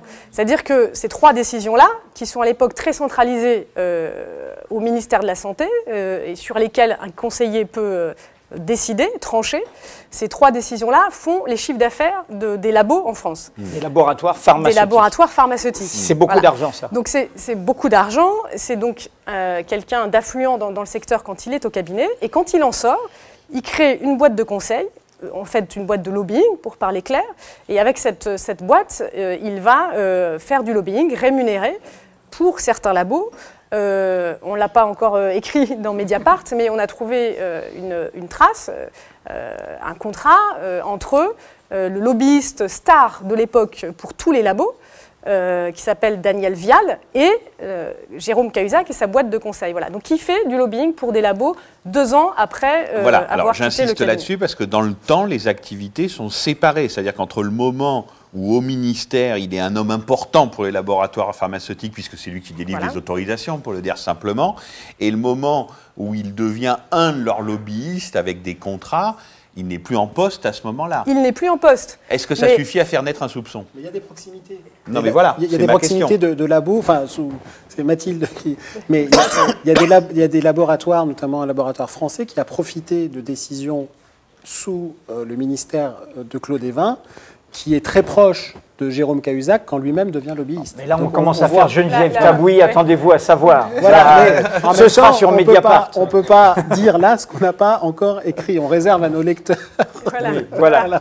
Oui, Voilà. mais parce que ça veut dire Non, que... mais ça veut dire, alors ça veut dire que tout- toute personne qui entre dans un cabinet, euh, ensuite, euh, euh, peut aller monnayer son entre-gens euh, sans que ça euh, génère des critiques. Non, c'est pas. Enfin, moi, je pense que c'est pas une position très éthique. Euh, ensuite, Surtout est-ce qu'il est devenu élu. Il a gardé ce par la cabinet. suite, en, en 97, il, euh, il est élu député. Son cabinet continue à fonctionner. En 97-98, je crois, euh, il y a encore un, un chiffre d'affaires conséquent. euh, et on a retrouvé trace de deux factures de 250 000 francs. Euh, pour qui il travaille alors qu'il est député euh, à l'époque C'est- voilà. On va essayer de répondre à cette Et question. qu'il intervient sur des questions de Et que santé. par ailleurs, euh, c'est à comme c'est un spécialiste du médicament, il fait des amendements sur euh, l'industrie pharmaceutique, etc. C'est Voilà. une question très C'est- publique, c'est- la question C'est une du enquête en cours, donc euh, on ne peut pas trop non, en mais- dire encore. Il y a des, des- des réponses et Non, encore ça, des c'était- questions. C'est voilà. vraiment la question. D'où vient son argent? D'où vient assez d'argent, machine à cash, pour qu'on se dise Ah oui, il faut ouvrir des comptes à l'étranger Et la question d'après, elle est évidemment pour Dan Israël. C'est si simple que ça. Mais alors là, moi, je dis ça avec une naïveté euh, complète et totale. On peut, en deux coups de fil ou en deux clics ou en deux je sais pas quoi, ouvrir un compte à l'UBS Alors, légalement, alors tout le monde peut ouvrir un compte à l'UBS. Ce qu'on ne peut pas faire, c'est ne pas le déclarer au fisc français. pour le Voilà. soustraire au fisc Voilà. français, Alors évidemment. après, oui, euh, c'est aussi simple que ça. Il y a des gens qui font de la gestion de fortune, euh, et c'est leur métier. Ils conseillent des riches contribuables sur la meilleure façon de placer leur argent. Ça, c'est un premier point. Deuxième point, de faire de l'optimisation fiscale, c'est-à-dire d'utiliser les lois qui existent pour payer le moins d'impôts possible, soyons clairs. Cette optimisation fiscale qui dérive parfois vers de la fraude ou de l'évasion fiscale pure, c'est-à-dire on cache son argent au fisc. Voilà. Donc oui, il y a plein de techniques possibles, tout est, tout est faisable, tout est illégal, mais tout est faisable. Voilà. Et comment et que- quel est, quel est, quels sont les moyens d'agir C'est une conversation qu'on va avoir dans quelques minutes avec, avec nos invités, mais quels sont les moyens d'agir du fisc français? Parce que si évidemment ça prend des proportions euh, considérables, le manque à gagner pour l'État est tout aussi considérable. Donc que se passe-t-il? L'administration qui est sous la direction actuellement de Jérôme Cahuzac. Donc, Tout à fait. moi, alors, ce qui est amusant, c'est que, enfin, amusant, c'est que Jérôme Cahuzac, euh, mi-novembre, a présenté un plan de, de lutte contre la fraude et l'évasion fiscale. Bon, et il y a bien sûr notamment un volet de ce qu'on appelle l'information fiscale, l'échange d'informations avec d'autres gouvernements. Et il a ci- ciblé, bien sûr, nommément la Suisse, qui est un des gros points noirs, on va dire, euh, pour la France. Normalement, depuis 2009, la Suisse a autorisé les banques, ces banques, à communiquer avec la justice des autres pays et communiquer les informations bancaires. Si un pays vient en disant, alors c'est des choses très précises, mais il faut dire, je sais que monsieur Jérôme Cahuzac a un compte à l'UBS et je vais vous expliquer pourquoi cette position-là ou ce compte-là est illégal, là, la justice, euh, la, la banque suisse, normalement, doit donner l'autorisation. Bon. Ça marche moyennement bien. La Suisse n'est pas le fait, mais au compte-goutte ou donne des informations déjà connues, la plupart du temps. C'est ce qui est reconnu par tout le monde. Bon. Et Jérôme Cahuzac, dans son plan de lutte contre la fraude et l'évasion fiscale, a dit mi-novembre il faut encore travailler sur cet échange d'informations. Donc c'est Mm. un petit peu ironique. Et, et si c'était tourné, parce que pour prouver son innocence, si c'était tourné vers l'UBS en leur disant, voilà, faites un communiqué, je vous y autorise. Je, vous, je vous délivre de votre engagement de confidentialité que vous devez à vos clients puisque vous êtes des banquiers suisses, je vous en délivre. Faites un communiqué qui dit Monsieur Jérôme Cahuzac n'a jamais eu et n'a pas de compte chez nous. Est-ce qu'il pouvait faire ça? Alors, il peut, tout particulier peut demander à la banque de le faire. Alors, il y a un vrai débat sur est-ce que l'UBS, est-ce que UBS, est-ce qu'une banque le ferait, le ferait pour un particulier, le ferait pour un particulier qui après euh, Et ne mentirait état- pas, en évidemment. ferait état publiquement. C'est vraiment difficile. On a, j'ai discuté hier avec un confrère du Temps qui a parlé, qui a repris nos informations, qui les a un journal peu complétées. Absolument, journal de Genève. En gros, qui m'a laissé entendre que les deux cas étaient possibles. Elle pouvait tout à fait dire on ne peut pas, alors que théoriquement elle pourrait. C'est très difficile à Sans établir. compter que UBS est sur la sellette Voilà, d'une ce instruction dire, judiciaire c'est- c'est ce qu'a avec dit- beaucoup de ce choses à se faire Aujourd'hui, pardonner. il faut quand même avoir en tête Donc- que UBS et donc qu'il y a un juge qui enquête sur, en France sur des conseillers fiscaux d'UBS suisses qui venaient euh, démarcher les, Hmm. les patrons Les de. PME Voilà. pour leur dire venez faire l'évasion fiscale, ce qui est totalement, évidemment, totalement illégal interdit. et avec des risques, c'est tombé dans d'autres pays, d'amendes très lourdes, Très, très lourdes. décidées par qui? Par, Par l'administration fiscale et le Et- ministre concerné. c'est un énorme problème. On est dans ce grand écart qui concerne le gouvernement et pas seulement monsieur. D'intérêt, Fabrice hein. UBS est la cible d'une enquête judiciaire en France, dont la partie civile est Jérôme Cahuzac, pour résumer. Imaginez la situation de Jérôme Cahuzac qui demande à UBS de dire non, il n'a pas de compte chez nous. Euh, Imaginez la- le paysage de conflit toute façon, d'intérêts et, et qu'est-ce que ça peut créer comme, euh, comme soupçon sur euh, euh, la, voilà, la, la sincérité de, de telle ou telle action? On va peut-être conclure ou quasiment conclure avec une question d'un d'un lecteur de Mediapart. Pourquoi dans l'affaire Cahuzac est-ce si difficile pour le ministre de dire ceci? Oui, c'est vrai, j'avais un compte en Suisse. C'est vrai aussi que pour dissimuler cette partie de mes avoirs, je l'ai transféré à Singapour. J'ai trahi la confiance du peuple français. Je démissionne donc de ce gouvernement et je me tiens à la disposition de la justice. C'est une question qu'il faut poser à Jérôme Cahuzac. Alors je la pose autrement, je reformule la question du lecteur. Pourquoi n'a-t-il pas dit j'ai eu un compte à l'UBS Oui, j'ai eu un compte à l'UBS parce que je me faisais beaucoup d'argent, Dan va me répondre aussi, dans les implants capillaires ou le conseil pour les labos pharmaceutiques. Quand j'ai commencé à faire de la politique à plein temps, j'ai fermé ce compte, j'ai fermé ce compte, et donc je n'ai rien, à- me reprocher, puisque quand je suis devenu à l'Assemblée nationale pour le groupe socialiste directeur des affaires budgétaires, c'était terminé, je me suis mis en règle, etc. En clair, pourquoi n'a-t-il pas fait la tactique de la faute avouée et passée? Un, parce qu'il était quand même député, euh, il a fermé son compte euh, alors qu'il était déjà député, donc c'est quand même très problématique. Et puis il y a quand même, c'est ce que disait Lénaïg, il y a le problème du symbole Cahuzac. Il a quand même, euh, mi-novembre, il a quand même présenté un plan où il disait il faut lutter contre la fraude fiscale, on va récupérer euh, 25% ou 20% d'argent en plus que ce qu'on récupère tous les ans. C'est un des axes de notre communication, de notre action publique dans cette période d'austérité. Vous, imaginez le symbole catastrophique, le, le ministre qui, euh, deux, semaines avant, était venu dire que c'était un des plus graves problèmes et qu'il y avait un manque de loyauté vis-à-vis de l'État. Et c'est là, c'est- lié à sa position politique. C'est impossible, je crois. Enfin, c'est très compliqué. Est-ce qu'on se peut, est-ce que cette tactique de nier absolument sur toute la ligne, c'est qu'il ne soupçonnait pas tout simplement l'existence de l'enregistrement? Ça, c'est, moi, je ne suis pas dans le secret des âmes, hein, donc euh, je ne sais pas, mais c'est vrai qu'on a souvent vu euh, des politiques nier contre les évidences, parfois même que le ciel est bleu. Euh, tout à l'heure, Jean-Marc Ayrault disait, Lé- Léna a rappelé que Jean-Marc Ayrault avait dit je, ne peux pas croire qu'il ait menti », puisqu'il l'a dit devant l'Assemblée nationale, qui est, quand même un soutien, un double tranchant de la part du Premier ministre, hein, parce que c'est aussi une façon de faire peser toute la, toute la responsabilité sur Jérôme Cahuzac sur le mode j'espère que tu n'as pas menti. Bon. Euh, Éric Woerth, pareil, devant l'Assemblée nationale, avait dit Je n'ai rien à voir dans l'affaire Bettencourt. C'est faux, des calomnies. On avait été traité de quoi De fascistes, d'hitléro-trotskistes, rappelez-vous. Nadine Morano, la ancienne poétesse du gouvernement. Bon. Euh, depuis, la justice enquête, la justice valide nos informations présomption d'innocence, évidemment, mais quand même, Eric Woerth est mis en examen pour trafic d'influence et recel d'espèces de Patrice Demestre et, et, et Liliane Bettencourt. Donc, ce qu'il a dit devant l'Assemblée nationale quand il nous, nous traitait de, de calomniateurs, il avait, il avait menti. Donc, c'est pas une garantie. Donc, en effet, parfois, on a, mais il s'agit pas du tout d'agiter l'idée du tous pourri, c'est l'inverse que nous faisons.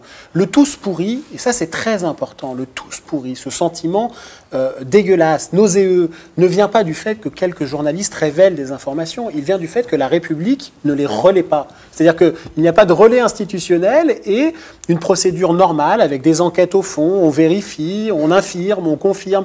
Et c'est cette espèce d'état d'esprit de verrouillage de tout face à la vérité qui crée ce sentiment d'impunité de tout ce Mais là, Fabrice, c'est quand même l'impression qu'on a. On a l'impression que là, depuis une semaine, il y a une sorte de vitrification autour de l'affaire. C'est-à-dire que c'est le côté, on n'en parle plus, on attend que ça passe, et puis il va y avoir les vacances de Noël, et puis une autre vie commence en janvier 2013.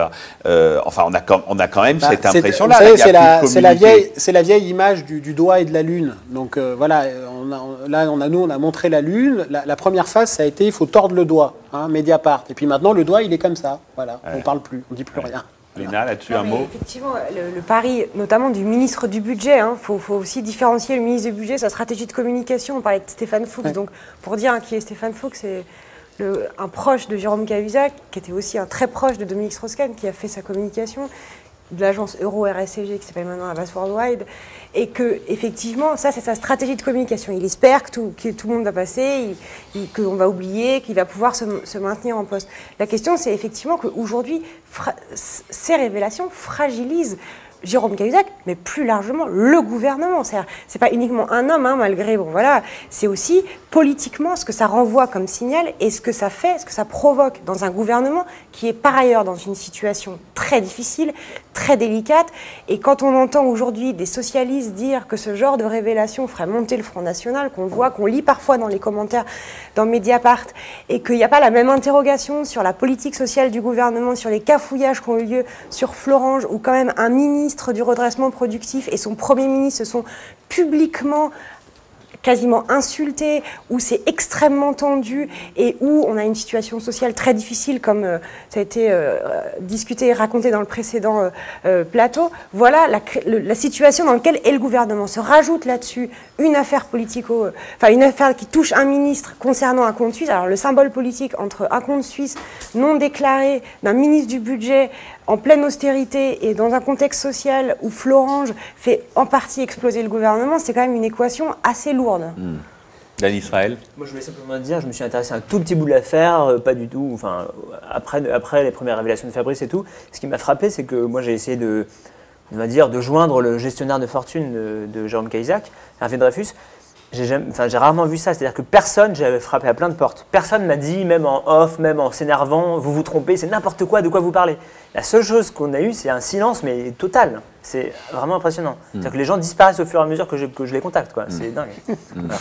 Je Et c'est, l'absence de réponse. Enfin, c'est, ça le, dis pas le, que on- le- le- le plus étonnant Parce pour conclure, c'est que là, il n'y a plus, il n'y a plus même de tentative d'explication sur quoi que ce soit. Mais depuis la diffusion de l'enregistrement, il n'y a rien. Rien. Factuellement, il n'y a rien. Merci beaucoup à tous les, à tous les quatre. Edoui, si on peut conclure. Ah, pendant que, que les, les autres vont, vont Absolument. s'installer, euh, euh, je pense que ce qu'on- ce qu'il faut c'est, dans cette affaire, c'est revenir euh, au fond de l'histoire. Ce que je disais tout à l'heure en rappelant que, que François Hollande, candidat, avait dit euh, les fraudeurs, les caïds, il avait mis tout le monde. La République, moi président, les rattrapera. hein. Et je voudrais juste raconter une histoire parce que c'était une époque de crise euh, semblable à la nôtre, c'était les années 30. Parfois ça tourne mal, les crises, et donc les enjeux démocratiques dont nous venons de parler sont essentiels. Et aux États-Unis, quand Roosevelt a été élu, euh, a, et notamment dans son deuxième mandat, quand la guerre approchait, quand les tensions approchaient et face à la crise, il a demandé à son ministre des Finances une note sur la fraude et l'évasion fiscale. Et ce ministre des Finances, qui s'appelait Morgento, écrit ceci. Année par année, les enquêtes sur les rentrées de l'impôt sur le revenu révèlent le combat toujours plus acharné des individus fortunés et des entreprises, c'est de ça dont vous allez parler maintenant, pour ne pas payer leur juste part des dépenses de leur gouvernement.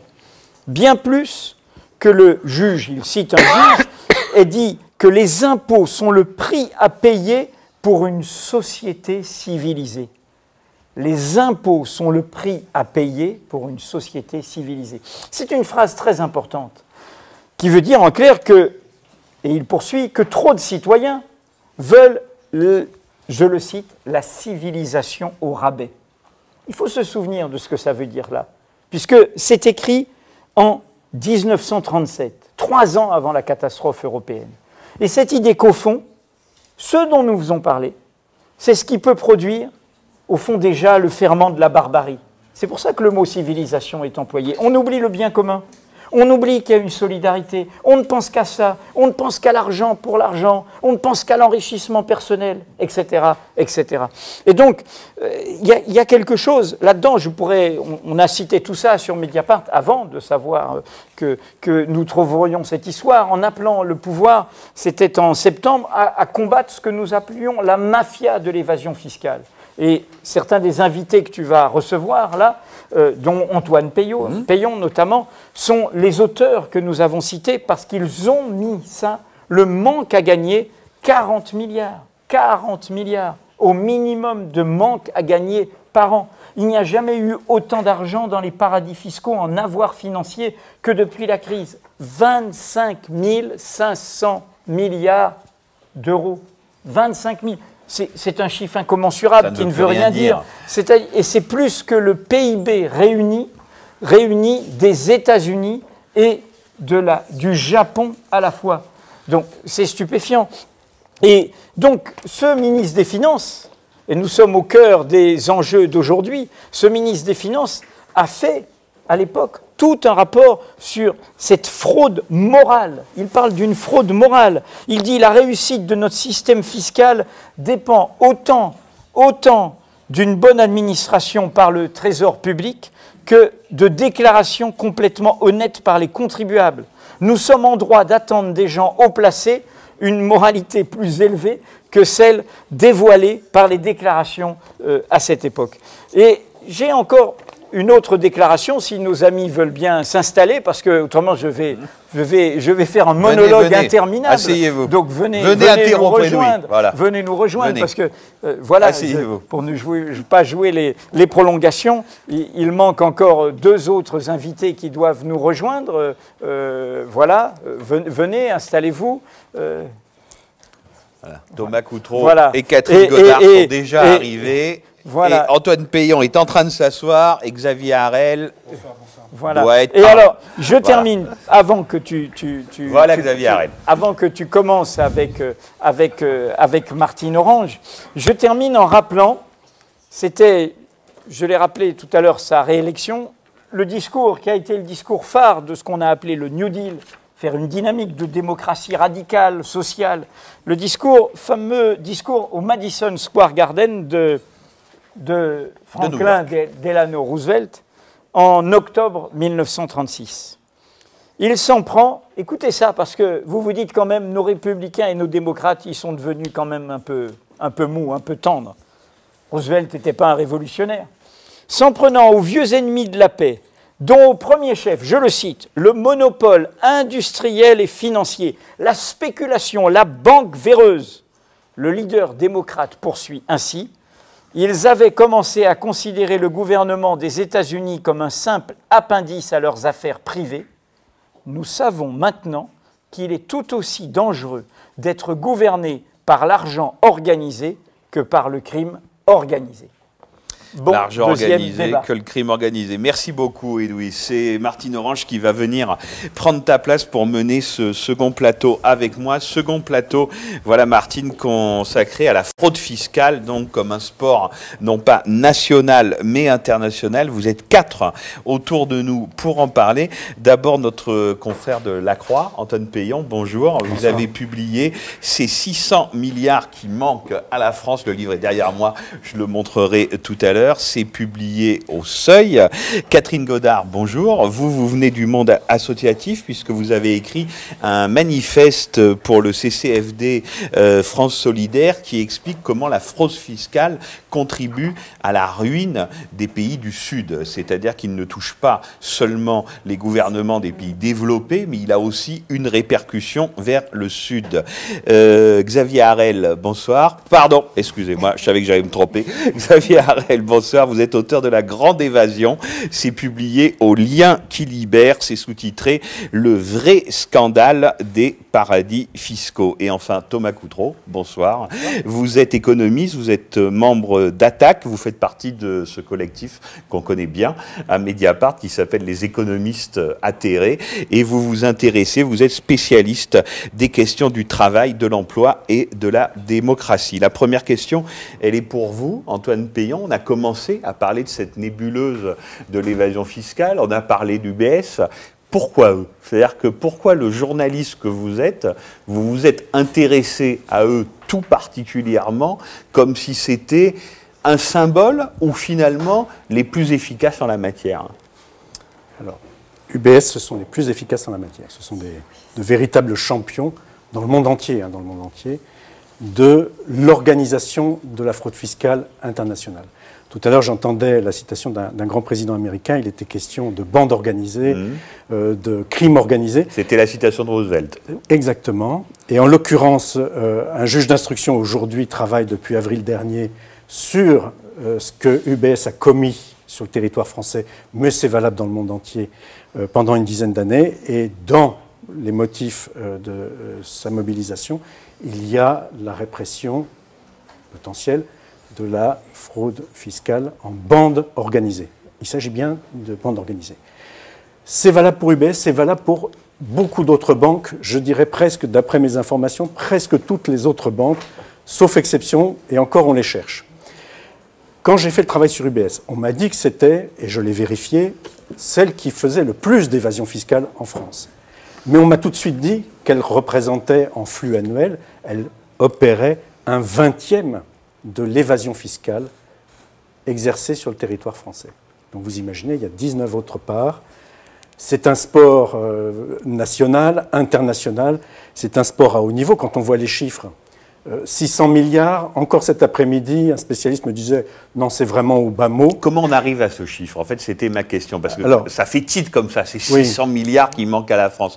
Comment on arrive à ce chiffre? Il y a deux méthodes. Il y a la méthode des économistes, et il y a notamment un économiste, un jeune économiste de l'école d'économie de Paris, euh, qui s'appelle Gabriel Zuckman, qui a spécifiquement travaillé et continue de travailler sur les calculs macroéconomiques qui permettent de déduire la part manquante. Calcul assez compliqué, je vais vous épargner sur sa méthode, mais elle a été validée euh, par euh, tous ses confrères, et il arrive à une moyenne mondiale de 10% des fortunes des ménages qui s'évadent dans les paradis fiscaux. Et autre méthode, la source alors là locale, la microéconomie, les banquiers qui vous disent eux-mêmes ce qu'ils ont vu ou ce qu'ils ont pratiqué comme évasion fiscale.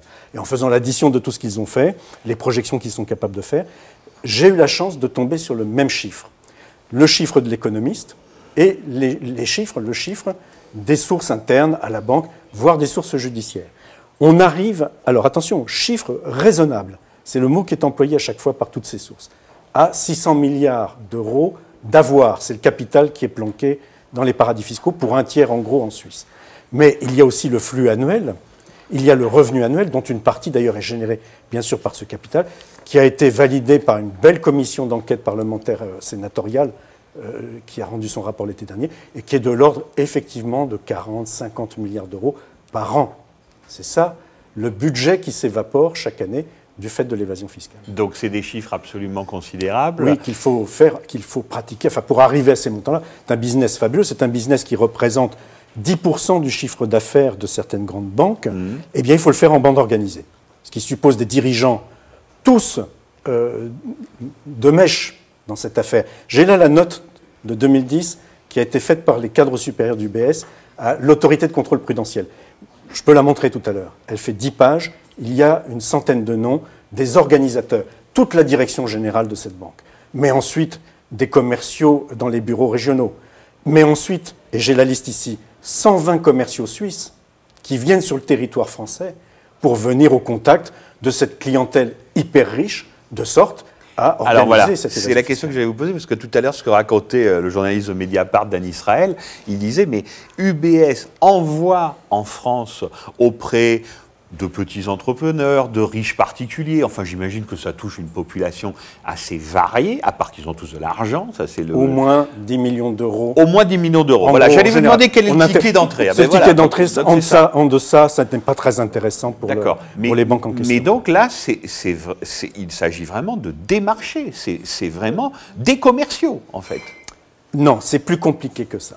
Ils viennent euh, auprès de gens qui sont déjà dans le club, qui se fréquentent entre eux et qui d'ailleurs, euh, par euh, cooptation, se font rentrer dans la bonne affaire. Vous êtes un très gros commerçant dans une grande ville française. Votre chiffre d'affaires monte, vous rentrez dans la bonne société. Eh bien, ceux qui y sont déjà vont vous présenter à un banquier, vont vous dire, tu sais, là, il y a une méthode. Et vous allez être invité dans un château bordelais, dans un événement mondain, où là, vous allez être mis en contact avec un commercial suisse. C'est de la Mais cooptation la- oligarchique. Exactement. C'est un véritable club tel qu'il a été très bien vu par des sociologues célèbres, Pinson Charlot. Voilà, on est dans une société, ça peut s'analyser sociologiquement. C'est transversal d'ailleurs aux opinions politiques ou à ce qui peut être le semblant des opinions politiques. Je crois qu'actuellement vous êtes bien placé pour le vérifier. Euh, on a les mêmes chargés d'affaires, on a la même banque, on a les mêmes fuites ensuite à Singapour, et puis surtout, on fréquente les mêmes lieux. On va en même temps à l'opéra, on va dans les mêmes grands restaurants, on assiste au même déjeuner littéraire à l'hôtel Crillon. Voilà, c'est une véritable société de cours. De ce point de vue-là, c'est peut-être la signature que nous sommes encore en ancien régime. Alors justement, moi je veux vous poser cette question euh, à tous les quatre en fait. Euh, nous vivons une période de crise économique. La, crise maintenant, déclarée comme telle, dure depuis quatre ans. On n'arrête pas de nous dire depuis quatre ans que c'est terminé, que ce qui nous a mené à cette catastrophe, naturellement, les mesures vont être prises. Est-ce qu'on peut dire que depuis quatre ans, sur les paradis fiscaux, vraiment les paradis fiscaux et les mécanismes d'évasion fiscale, depuis la crise de l'automne 2008, est-ce que quelque chose a changé? Je peux vous dire, ce midi, je déjeunais avec des policiers de police judiciaire et du renseignement intérieur qui m'ont dit qu'ils étaient définitivement ou quasiment définitivement découragés par l'évolution des choses. Ils ont espéré, comme beaucoup d'autres, qu'il y aurait des réformes de la loi. Une loi est, en cours qui devrait porter des nouveaux procédés de lutte contre l'évasion fiscale. Un magistrat, qui est un spécialiste, me disait il y a très peu de temps qu'il y a deux petites choses intéressantes, mais que tout le reste n'y est pas. Ça, c'est la loi. Le ministre du Budget, après qui vous en avez, nous a annoncé très clairement qu'il allait récolter un milliard d'euros supplémentaires du fait de cette extraordinaire nouvelle lutte contre l'évasion fiscale. Alors que le volume annuel est de l'ordre de 40 à 50 milliards. Cherchez l'erreur. Donc, pour les spécialistes, que ce soit les juges, les magistrats ou les policiers, aujourd'hui encore, ça peut changer, nous sommes dans le faire semblant, comme nous l'étions avec M. Wers quand il, agissait, quand il agitait la liste HSBC. On Ça- est exactement dans la même Ça, c'est situation. pour l'échelon national et à l'échelon international? Alors c'est un peu différent. On a aujourd'hui des procédures judiciaires musclées qui datent pas d'hier, enfin d'aujourd'hui aux États-Unis, qui produisent quelque chose. Après, il y a plein de questions à poser sur certains paradis fiscaux sous dépendance américaine. Je pense à l'État de Delaware, mais je pense que Xavier Harel, qui est ici, entre autres, pourra mieux répondre que moi sur ces, ces sujets. Mais on a une procédure en Allemagne qui commence à être intéressante, où d'ailleurs il y a eu presque un peu une autonomie du judiciaire par rapport à un pouvoir politique qui voulait l'empêcher, qui voulait se précipiter d'ailleurs à signer un accord d'amnistie fiscale. Rubik, c'est de l'amnistie fiscale avec la Suisse. Eh bien, malgré tout, un CD-ROM, un DVD-ROM a été acheté, est exploité judiciairement. Des perquisitions phénoménales ont lieu, y compris chez des clients. Il n'est pas impossible qu'en France ça ait lieu aussi. Mais on est sur un régime peut-être de basse démocratie, mais aussi on est sur un régime de bas, de bas travail judiciaire en France. Thomas Coutreau, même question. Oui, on a, on a pu croire un moment, pendant quelques mois après l'éclatement de la crise financière en 2008, que la trouille euh, avait été tellement grande dans les milieux dirigeants euh, qu'ils allaient mettre de l'ordre un petit peu dans la maison et, limiter les, pires dérives. Et euh, Nicolas Sarkozy a eu cette fameuse phrase après un G20 à Londres, les, paradis fiscaux, c'est fini. Mais en réalité, la trouille est passée assez vite. hein. Les États ont injecté des, milliers de milliards de dollars et d'euros dans, la machine pour la faire repartir. Euh, la spéculation est repartie, les banques se sont ont regonflé leurs profits et elles ont retrouvé maintenant un pouvoir euh, politique et économique supérieur à ce qu'elles avaient avant la crise, puisqu'elles elles en ont profité pour se concentrer. Certaines banques ont fait faillite, ont été reprises, leurs activités ont été reprises. On a maintenant une concentration bancaire et financière accrue par rapport à euh, l'avant-crise, et donc un pouvoir politique accru pour, pour ces acteurs financiers. Et de fait, on voit bien aujourd'hui qu'il n'y a plus de volonté politique, les paradis fiscaux. Alors, en, en Europe, hein, parce que c'est vrai qu'aux États-Unis, euh, il y a eu une loi qui a été passée qui oblige et qui va obliger à partir de l'année prochaine à une transparence euh, beaucoup plus importante. Donc l'Europe est plutôt à la traîne par rapport aux États-Unis? Oui, oui, alors je crois qu'il y, a- il y a très clairement un manque de volonté politique spécifique euh, en Europe. L'administration américaine a, a essayé des choses. Alors, sur la réforme financière, ça, finalement, ça s'est dilué. euh, La fameuse euh, réforme Dodd-Frank qu'a- qu'a- qu'avait proclamé euh, euh, Obama dans, les premiers mois de son mandat a été ensuite vidée de son contenu par les lobbies, euh, largement hein, vidée de son contenu par les lobbies bancaires et, financiers. Mais il reste quand même quelques éléments qui ont été, euh, posés et qui, demeurent intéressants. En Europe, euh, et on va en avoir une nouvelle illustration avec la réforme bancaire, la fameuse soi-disant séparation entre banques d'affaires et, et- et banques commerciales et banques de dépôt qui avait été promise par euh, le candidat Hollande dans sa campagne électorale, ce qui va être présenté au Conseil des ministres la, la semaine prochaine, est totalement dénué de contenu. C'est-à-dire c'est c'est une réforme purement fictive qui a été vidée de son contenu par rapport euh, à ce qu'on pouvait attendre des promesses électorales par un lobbying bancaire absolument euh, infernal qui fait qu'aujourd'hui, il y a- on constate, on est obligé de constater qu'il n'y a pas de volonté politique. Et ce que montre euh, l'affaire l'affaire Cahuzac, c'est c'est au-delà du fait que, effectivement, il y a ces phénomènes sociologiques de, de cooptation euh, au sein des, élites et des, couches très, très, très riches, du fameux 1% euh, de l'oligarchie, c'est aussi cette interpénétration entre l'oligarchie financière économique et l'oligarchie politique.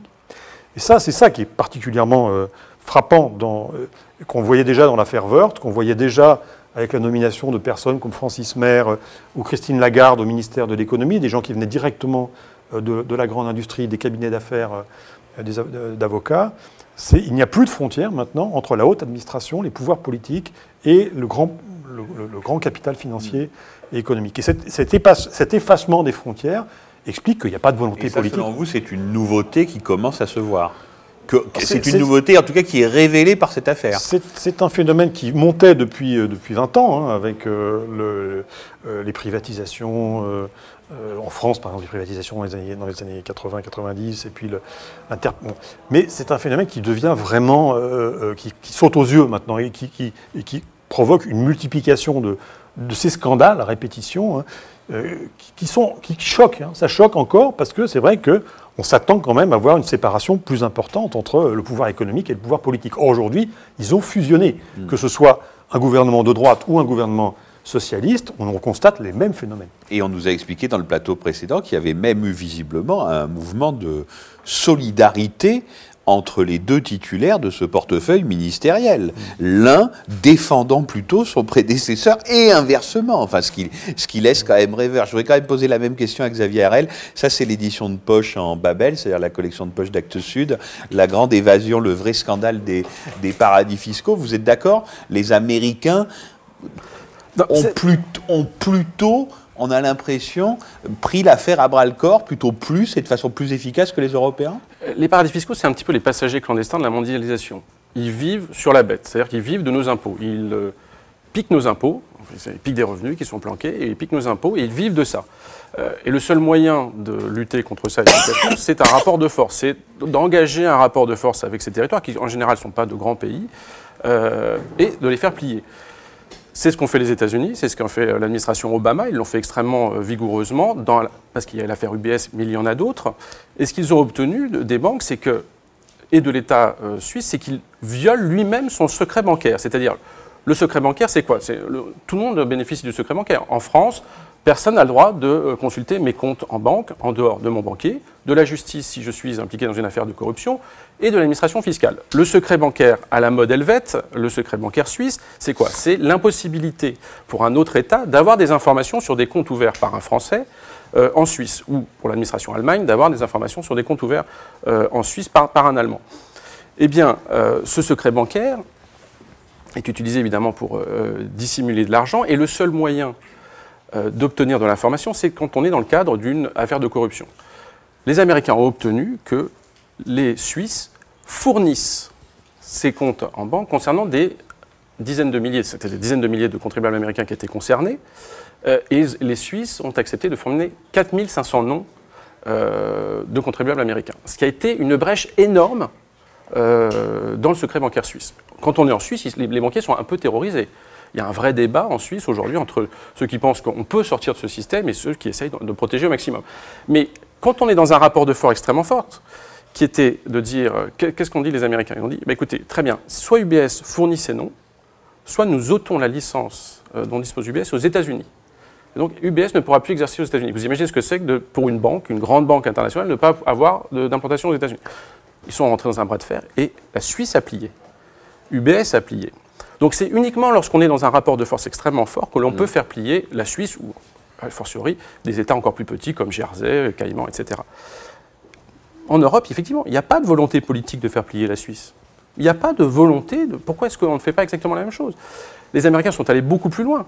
Ils ont obtenu de la Suisse et de ses banques qu'elles publient les noms de leurs collaborateurs qui ont aidé des contribuables américains à frauder le fisc américain. Le résultat est extraordinaire. Pour, les Suisses, c'est absolument horrible. Vous vous rendez compte, pendant des années, vous avez une banque qui vous a protégé, qui vous a couvert, votre hiérarchie, allez-y, c'est bon, tu peux faire venir de l'argent, le planquer ici, moi je te couvre. Et puis au bout de 10 ans, 15 ans, eh bien, les noms sont balancés la justice américaine. Ça veut dire quoi? Ça veut dire que ces dizaines de milliers d'employés qui ont travaillé pour ces banques pendant des années à faire, à, organiser de l'évasion fiscale à grande échelle, eh ben, aujourd'hui, ne peuvent plus aller aux États-Unis. Ils, ils sont prisonniers de leur pays. C'est absolument horrible quand on regarde ça du côté suisse. Côté américain, c'est extrêmement malin. Parce qu'aujourd'hui, des banquiers suisses vont se mettre à réfléchir à oui. Est-ce que je suis vraiment couvert par ma hiérarchie? Mais pourquoi? Ce n'est pas, pas, parce qu'on est rentré dans une procédure très technocratique comme on, s'installe aujourd'hui en Europe. Aujourd'hui, on a demandé à l'OCDE de réfléchir, à mettre en place des procédures, euh, à signer des accords d'échange d'informations, dont on a pu voir lorsqu'ils ont été mis euh, euh, en test grandeur nature que ça ne fonctionnait pas. La France a signé un accord d'échange d'informations avec la Suisse. Normalement, aujourd'hui, si la France a des soupçons sur un contribuable français, pas des soupçons de corruption ou de blanchiment, mais des soupçons d'évasion fiscale. Elle fait une demande à la Suisse et normalement, la Suisse doit lui donner des informations. Eh bien, Valérie Pécresse, lorsqu'elle était ministre du Budget, a fait un essai grandeur nature. Elle a, donné, elle a fait une demande concernant 300, 230 contribuables euh, français. Eh bien, le résultat est absolument terrifiant. C'est-à-dire qu'ils ont eu une trentaine de réponses. Et pour la plupart, c'était des réponses où les informations qui sont revenues étaient contenues dans la question qui était posée par l'administration française. Mmh. Donc, dans les faits, ça ne fonctionne pas. Tant que ce rapport de force n'a pas été installé et qu'on n'a pas expliqué à la Suisse ou à d'autres territoires, le Liechtenstein, le Luxembourg, qu'on en a marre de, leurs pratiques, que leurs pratiques sont déloyales, qu'ils vivent de notre argent, euh, de nos impôts, eh bien, on n'arrivera à rien. On rentrera dans des procédures extrêmement technocratiques, très longues, où il faut que tout le monde soit d'accord, et où euh, les Suisses, le Luxembourg ou l'Autriche vont vous expliquer que, très bien, on est prêt à abandonner le secret bancaire si les autres le font. Et si les autres... On n'arrive à rien. Le seul moyen, c'est euh, de faire pression sur ces pays de façon euh, très très ferme. Hmm. Catherine Godard, ça veut dire qu'il faut que nous-mêmes nous fassions pression sur nos gouvernements pour qu'eux-mêmes instaurent un rapport de force, si je comprends bien, euh, si je comprends bien la démonstration, pour que quelque chose bouge et que quelque chose change. Bah absolument. D'abord parce que cette question d'évasion fiscale, c'est un enjeu de démocratie c'est un enjeu de justice euh, sociale. L'injustice est criante quand on, regarde cette situation où des, contribuables ou des grandes entreprises, parce que là on parle, au cœur de l'évasion fiscale, il y a la question des multinationales. Et, aujourd'hui, euh, le, système fiscal international n'est pas du tout adapté, il est complètement obsolète par rapport à la réalité euh, de l'économie internationale et notamment de ces entreprises multinationales. Et si les citoyens ne réclament pas justice, ne réclament pas la transparence nécessaire pour que la fiscalité s'applique réellement à ces entreprises multinationales, ben, on est dépossédés, nous, citoyens du Nord, mais les citoyens du Sud également, d'une répartition juste, équitable de toutes les richesses créées sur un territoire. Quand vous parlez Et des multinationales, vous pensez aux affaires Google, Starbucks, Oui, alors on etc. parle beaucoup de ces multinationales en, en Europe parce que euh, il y a eu, euh, enfin, elles ont été montrées du doigt euh, en Angleterre. Et D'ailleurs, elles y sont très sensibles, hein, puisque certaines ont décidé que, bien qu'elles n'aient pas payé d'impôts depuis des années, maintenant elles allaient le faire. Donc c'est quand même une reconnaissance du fait qu'elles étaient en tort. Euh, mais il y a aussi des multinationales qui exploitent des ressources naturelles, gazières, minières, euh, pétrolières, euh, dans beaucoup de pays du Sud, et, qui ne payent pas d'impôts dans ces pays. C'est ça que nous dénonçons au CCF du Terre Solidaire, c'est que on parle beaucoup de l'évasion fiscale ici et de l'enjeu que ça représente comme perte pour nos États et donc comme euh, perte aussi de, capacité à mettre en place des politiques publiques. hein. Les, les- les 20 milliards d'euros d'évasion fiscale internationale des, entreprises multinationales en France, c'est un tiers du budget de l'État pour l'éducation, par exemple. Mais on parle beaucoup moins, euh, et nous, c'est ce que l'on met en avant, de cet impact dans les pays du Sud, du fait que ça représente 125 milliards d'euros chaque année pour les pays du Sud. C'est autant de ressources que les pays ne peuvent pas investir Hmm. Dans leur développement, dans leur Ils politique n'ont, eux, agricole. pas de rentrée fiscale. Voilà, eux n'ont pas ou très peu de rentrées fiscales. On a des exemples qu'on cite régulièrement. Exxon, euh, qui euh, au Chili, pendant 23 ans, a exploité euh, une mine, l'a déclarée déficitaire, n'a donc pas payé d'impôts pendant 23 ans et l'a revendue à 16 fois le prix d'achat. Donc elle était quand même euh, productive, cette Et mine. Total, ils paient, leur, ils paient leurs taxes dans les pays Alors, euh, il y a beaucoup de Pour parler d'une grande entreprise et multinationale Euh, le, problème, justement, c'est qu'aujourd'hui, euh, je vous le disais, la, la- la réalité de la politique fiscale internationale n'est pas adaptée à la réalité des entreprises. Euh, une, une entreprise multinationale comme Total publie des comptes consolidés et donc euh, paye des impôts. Et effectivement, Total paye des impôts.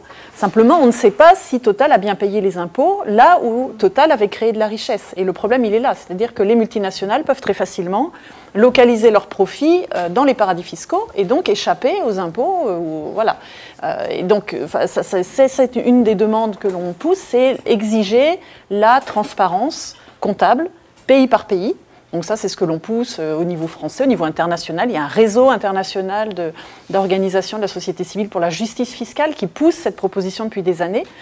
Euh, et, elle avait été entendue en- au- auprès du G20. On n'a pas réussi à obtenir que cette euh, mesure de transparence fiscale comptable pays par pays soit mise en œuvre. Le problème des, des- dispositifs internationaux dont on parle depuis tout à l'heure, c'est qu'ils sont centrés sur les paradis fiscaux et sur les échanges d'informations entre administrations fiscales. Donc on ne s'attaque pas à la vraie raison, on ne s'attaque pas aux utilisateurs, on ne demande pas directement aux utilisateurs de donner ces informations. Or, ce sont les mieux placés pour les donner.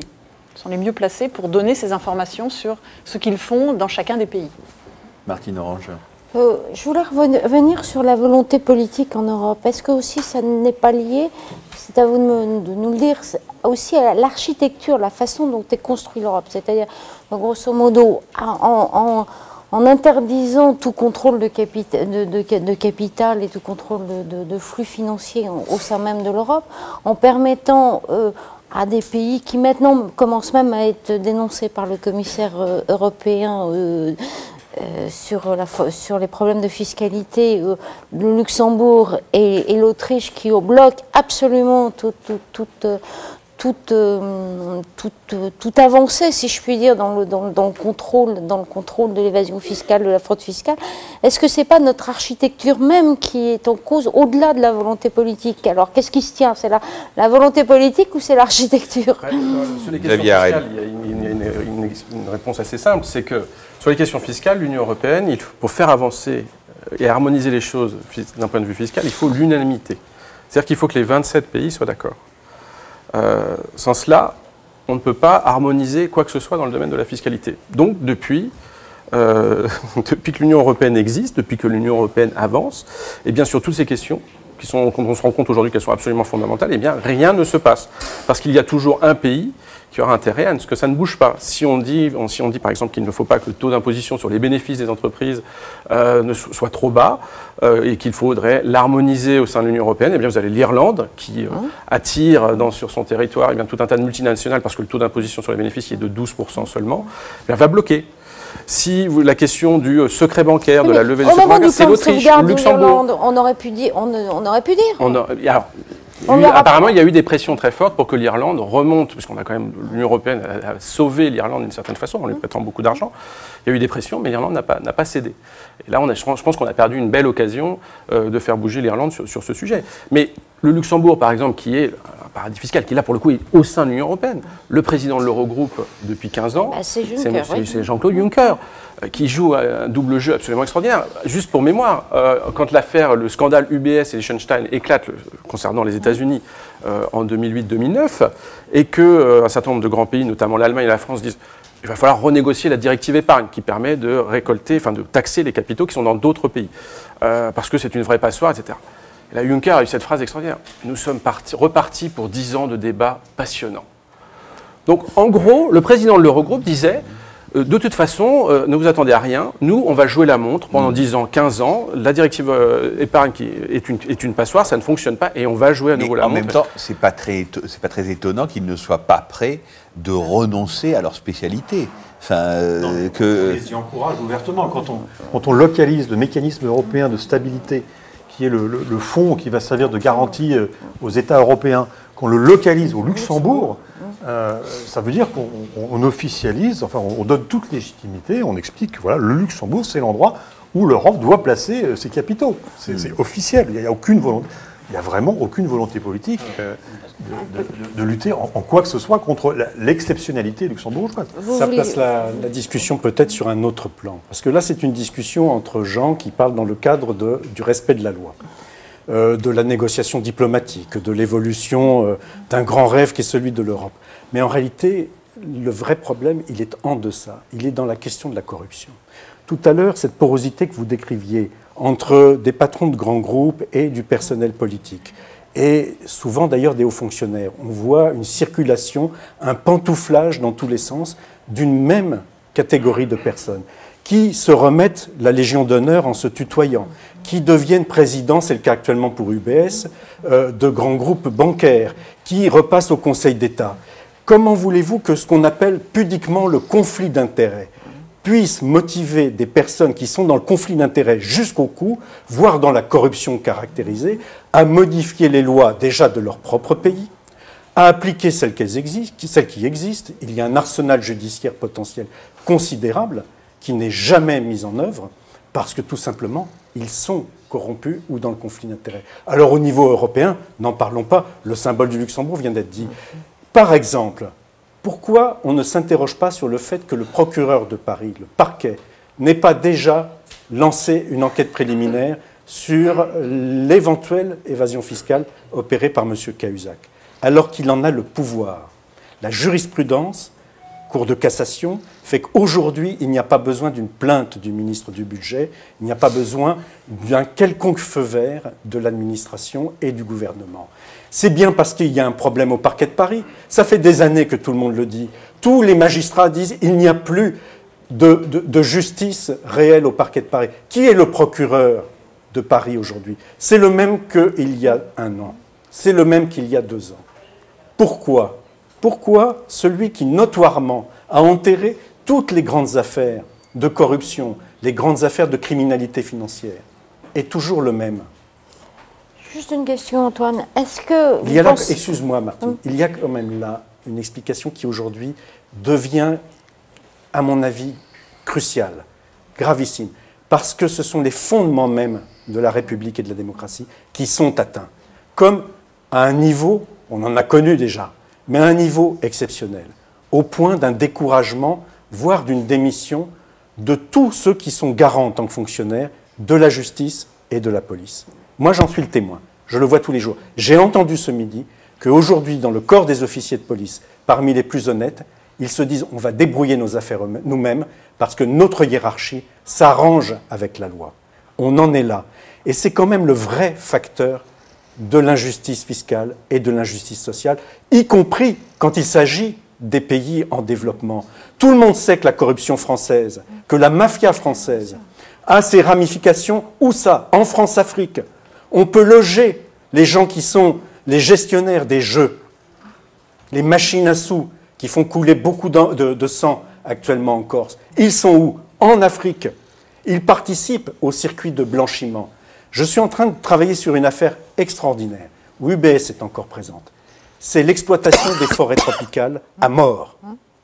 Le blanchiment des certifications soi-disant écologiques. Pour, là encore, des milliards de dollars.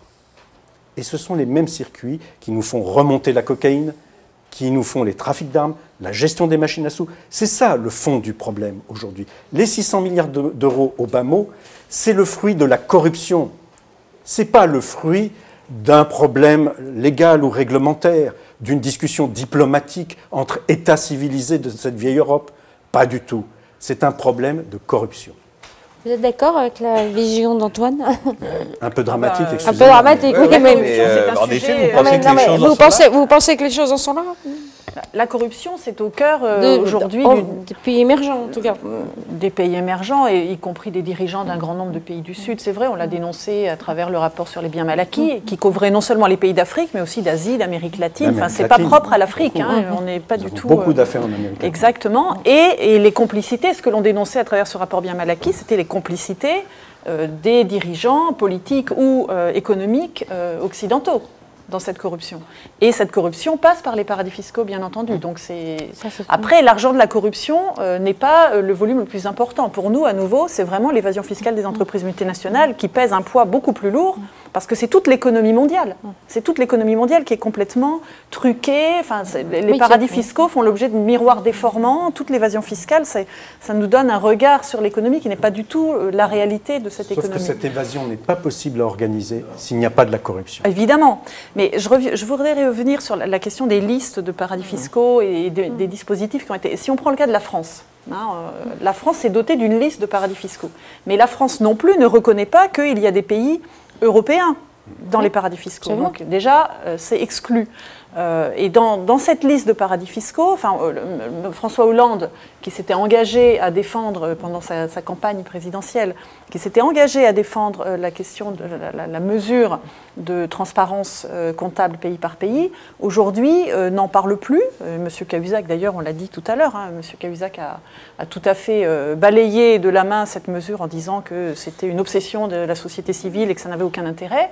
Mais euh, même M. François Hollande ne parle plus de revoir la liste, ou ne parle pas, ne, ne dit pas qu'il faut revoir cette liste de paradis fiscaux qui est vide aujourd'hui. Il y a 12 territoires qui se battent en duel, euh, qui, n'ont plus, euh, qui ne représentent rien euh, en termes de volume d'évasion fiscale. Ah, il n'y a pas Luxembourg. Il n'y a pas Man, il n'y a pas Jersey, il n'y Voilà, a pas euh, Guernesey, en fait, il n'y a pas le- pour, euh, pour être exclu de la liste, sont exclus. alors, pour c'est être d'accord. exclu de la liste, il suffit de- pour un, un territoire d'avoir passé 12 accords d'échange d'informations avec un certain nombre, enfin, avec 12 pays, y compris la France. Mais comme on le disait tout à l'heure, ces accords, ces accords d'échange d'informations euh, ne, ne concrétisent pas forcément un échange d'informations. Il suffit de passer un accord, après on n'est pas obligé de répondre aux questions. Juste pour donner Voilà, un exemple, donc- Monaco est sorti de cette fameuse liste en signant Avec 12 le chef, accords, dont 10 avec d'autres paradis fiscaux. C'est-à-dire que Monaco a signé Voilà. des accords d'échange d'informations avec le Liechtenstein, avec la Suisse, avec, le Vanuatu, avec le... Donc là, Voilà, donc déjà, il faudrait revoir cette liste. Donc là encore, il y a une absence totale de volonté politique. en Tout fait. à fait, parce que c'est sur cette liste que tous les dispositifs français de lutte contre la, la fraude ou l'évasion fiscale internationale s'appuient, se reposent. Mais- Donc, euh, Question à l'économiste quand même. Sans les paradis fiscaux, ou des paradis fiscaux, disons, plus attaqués et plus contestés, comment, les mécanismes de transmission, les, circuits euh, de, la, finance fonctionneraient-ils? Quel coût ça porterait si on s'attaquait vraiment aux paradis fiscaux? Ah, On sait que déjà, euh, c'est pas seulement la finance, hein, c'est le commerce, euh, le commerce, même le commerce de, marchandises euh, et, de, services. Plus de la moitié du commerce international passe par les paradis fiscaux. Ce sont les chiffres officiels. Euh, donc c'est pas seulement la finance qui, euh, qui, profite des paradis fiscaux pour localiser euh, ses profits et pour faire de, l'optimisation, voire de l'évasion fiscale. Donc manifestement, une lutte résolue contre les paradis fiscaux aurait un impact massif sur la profitabilité de, pas seulement du secteur financier, hein, mais de l'ensemble de- des économies de, de la planète. Donc on peut penser sur l'investissement et donc sur l'emploi. Alors, ça, ça aurait, bah, ça aurait des effets massifs sur les profits. La corrélation entre les profits euh, et l'investissement euh, Reste à démontrer. Qui, était- qui a été au cœur des politiques néolibérales depuis le début des années 80, elle est totalement infirmée. Non seulement elle reste à démontrer, mais elle est totalement infirmée par les faits. C'est-à-dire que les profits ont été rétablis depuis une dizaine d'années à un niveau euh, euh, historiques euh, extrêmement hein, euh, les rentabilités financières de l'ordre les fameux 15% euh, sur, capitaux, sur capitaux propres par an. Euh, donc, et on maintient cette rentabilité extraordinairement élevée dans cette période de crise aujourd'hui euh, pour les grands groupes. hein. Je ne parle pas des PME, du tissu des sous-traitants qui, eux, sont, pressurés, n'ont pas du tout ce niveau de rentabilité. Mais pour les grands groupes financiers, on maintient des niveaux de rentabilité euh, extraordinairement élevés en pleine période de, crise, de marasme, euh, grâce en grande partie à ces mécanismes. Et ce n'est pas du tout de l'argent qui va vers l'investissement ni vers l'emploi, c'est de l'argent qui, va, qui circule hein, euh, dans la sphère financière, qui va nourrir des bulles financières euh, qui vont régulièrement éclater. Donc on est dans une économie euh, qui marche sur la Et tête. de l'hyper-richesse. Et de Voilà. Et l'hyper-richesse, l'hyper-richesse. Il faut regarder quand même la croissance des revenus et des patrimoines des gens qui sont à la tête de ces grands groupes et qui, eux, se servent en dividendes. C'est ça aussi. C'est-à-dire que ce, ce- ce profit qui est mis à l'abri des paradis fiscaux ne profite en aucun cas à, l'investissement. Au contraire, il est souvent fait sur ce qu'on appelle des dégraissages d'effectifs. La grande méthode, c'est de réduire les coûts pour faire ses profits. Donc au contraire, ça a même un effet pervers sur l'économie. Mais en tout cas, ce qu'on voit au niveau sociologique, économique et sociologique, c'est que la pauvreté est en train de s'étendre. C'est la fameuse société en sablier, prophétisée il y a déjà 30 ans par un économiste écologiste, mais aujourd'hui on l'a sous les yeux. Mais une hyper-richesse considérable, et qui se nourrit de ça, et qui n'est fait que pour son autosatisfaction, pas du tout pour le service au public. Alors, on a, la Grèce, enfin, un journaliste grec a publié euh, dernièrement une liste HSBC qui lui avait été transmise par euh, Madame Lagarde euh, des évadés fiscaux en Grèce, puisque c'est un des problèmes de la Grèce. C'est pas le seul, mais ça participe au problème. Tout, il a été menacé par la, par la justice. Et puis, on a dit que c'était absolument intolérable. Seulement, il y a une petite chose, c'est que les- le gouvernement espagnol semble penser que lui aussi, il va, dans cette pleine période d'austérité, publier la liste, la liste des évadés fiscaux telle qu'il la connaît. Est-ce que ça peut commencer à faire bouger les choses? Alors, Alors, ces questions sont très complexes. Vous savez d'ailleurs que celui qui est à l'origine euh, de la liste HSBC est en prison en Espagne. Justement, oui. Pour avoir violé le secret bancaire suisse. Oui. C'est quand même ça qui est extraordinaire. Oui, oui, oui, absolument. Après la transmission de cette liste, elle est extrêmement complexe, elle a été caviardée, elle Oui, est à oui. géométrie variable. Le seul pour lequel en, en qui on peut avoir confiance, C'est voilà, qui un magistrat, j'ai- eu Mont- 8000 j'ai eu Lui, 8000 noms. on peut le 8000 croire sur- parole. Tous ceux qui suivent en amont, enfin tous ceux qui sont en amont ou en aval, prudence. Moi, ce que j'ai vu quand même sur le cas de HSBC, c'est que cette liste tronquée a été agitée par un ministre du budget précédent et que ça a fait capoter des procédures judiciaires. Et ça a même fait capoter peut-être une loi. Ça a permis, par une jurisprudence, de faire en sorte que les gens qui se chargent de la police et de la justice en ces matières ne peuvent plus agir, ne peuvent plus faire de perquisition pour motif de fraude fiscale. Et donc, toute cette agitation médiatique, comme celle qu'on voit cette semaine sur la question de l'exil fiscal à propos d'Obélix, eh bien ça, c'est des paravents, ce sont, euh, des, ce sont des marionnettes qu'on agite pour ne pas traiter les questions de fond. Et ça entraîne d'ailleurs malheureusement quelques parlementaires qui se disent maintenant il va falloir retirer la nationalité française, mais et qui disent qu'ils vont lancer une enquête parlementaire à l'Assemblée nationale, alors que des confrères à eux, avant eux, ont décidé de faire une information parlementaire sur l'évasion fiscale, pas sur les quelques clowns qui vont et viennent et qui finalement ne représentent pas grand-chose. est-ce que vous ces êtes tous d'accord là-dessus Que l'exil fiscal, parce que là vous décrivez ça non seulement comme une mascarade, mais comme un paravent qui sert, qui Qui sert permet à justement quoi, voilà, de masquer, masquer c'est un spectacle Dans- médiatique. J'ai bien compris, encore ce soir à France Inter, sur le sujet. Et d'enterrer des procédures pénales à votre Si vous voulez avoir un plateau médiatique sur l'évasion fiscale, il faut qu'il y ait un évadé fiscal dans la journée. Enfin, moi, j'en fais l'expérience. Euh, J'ai écrit un livre sur- qui s'appelle. La Grande Évasion. Moi, on m'appelle. À chaque fois qu'il y a quelqu'un qui part en Suisse ou en Belgique, ah, on organise un plateau. Euh, Monsieur Harel, est-ce que vous pourriez nous venir nous parler de l'évasion fiscale? Voilà. Donc, euh, je veux dire, effectivement, le débat est complètement tronqué. Euh, on a besoin de figures comme ça pour, pour parler de ces, de ces questions. Les vraies questions, elles, ne sont pas abordées. Donc l'exil fiscal n'est pas une vraie question. Non, parce que déjà, on ne sait pas combien, micro-question. Non, mais sauf, que, sauf France. que si ça C'est une vient. question folklorique. Quand, quand- quand un, quand un- quand un gouvernement agite un truc on- et dit je vais publier la, la- la liste et les noms des évadés fiscaux, c'est qu'on sent bien qu'il y a aussi une pression de la population qui dit c'est insupportable à un moment. C'est insupportable. Martine, non, désolé de te, de te contredire sur ce point. À chaque fois qu'il y a alors un gouvernement, quand il le dit, il ne le fait pas. On a eu le cas avec M. Wörth, Oui, il l'a ça va. agité, il n'a même pas cité le nom de la banque, et puis finalement, on n'a rien vu. Et puis on sait maintenant très bien que c'était de façon justement à créer un contre-feu à des procédures judiciaires. Les gens qu'on va éventuellement dénoncer, et ce sont à ce moment-là des journalistes qui le font, ils craignent pas grand-chose, parce que ce n'est pas de la révélation par la presse qu'on a quoi que ce soit à craindre. On ne craint même pas le juge, parce qu'aujourd'hui, quand on est pris dans ce genre d'affaires, eh bien, on a éventuellement des peines de prison avec sursis qui ne sont jamais appliquées. Donc, en réalité, ce n'est pas ça qui changera quoi que ce soit dans la donne. C'est le fait qu'il puisse y avoir un véritable travail judiciaire et qui aboutisse à des sanctions véritables. C'est ça qui changera la donne. Il faut pour ça que juges, policiers, l'ensemble des gens qui sont compétents en la matière puissent travailler efficacement et avec du résultat.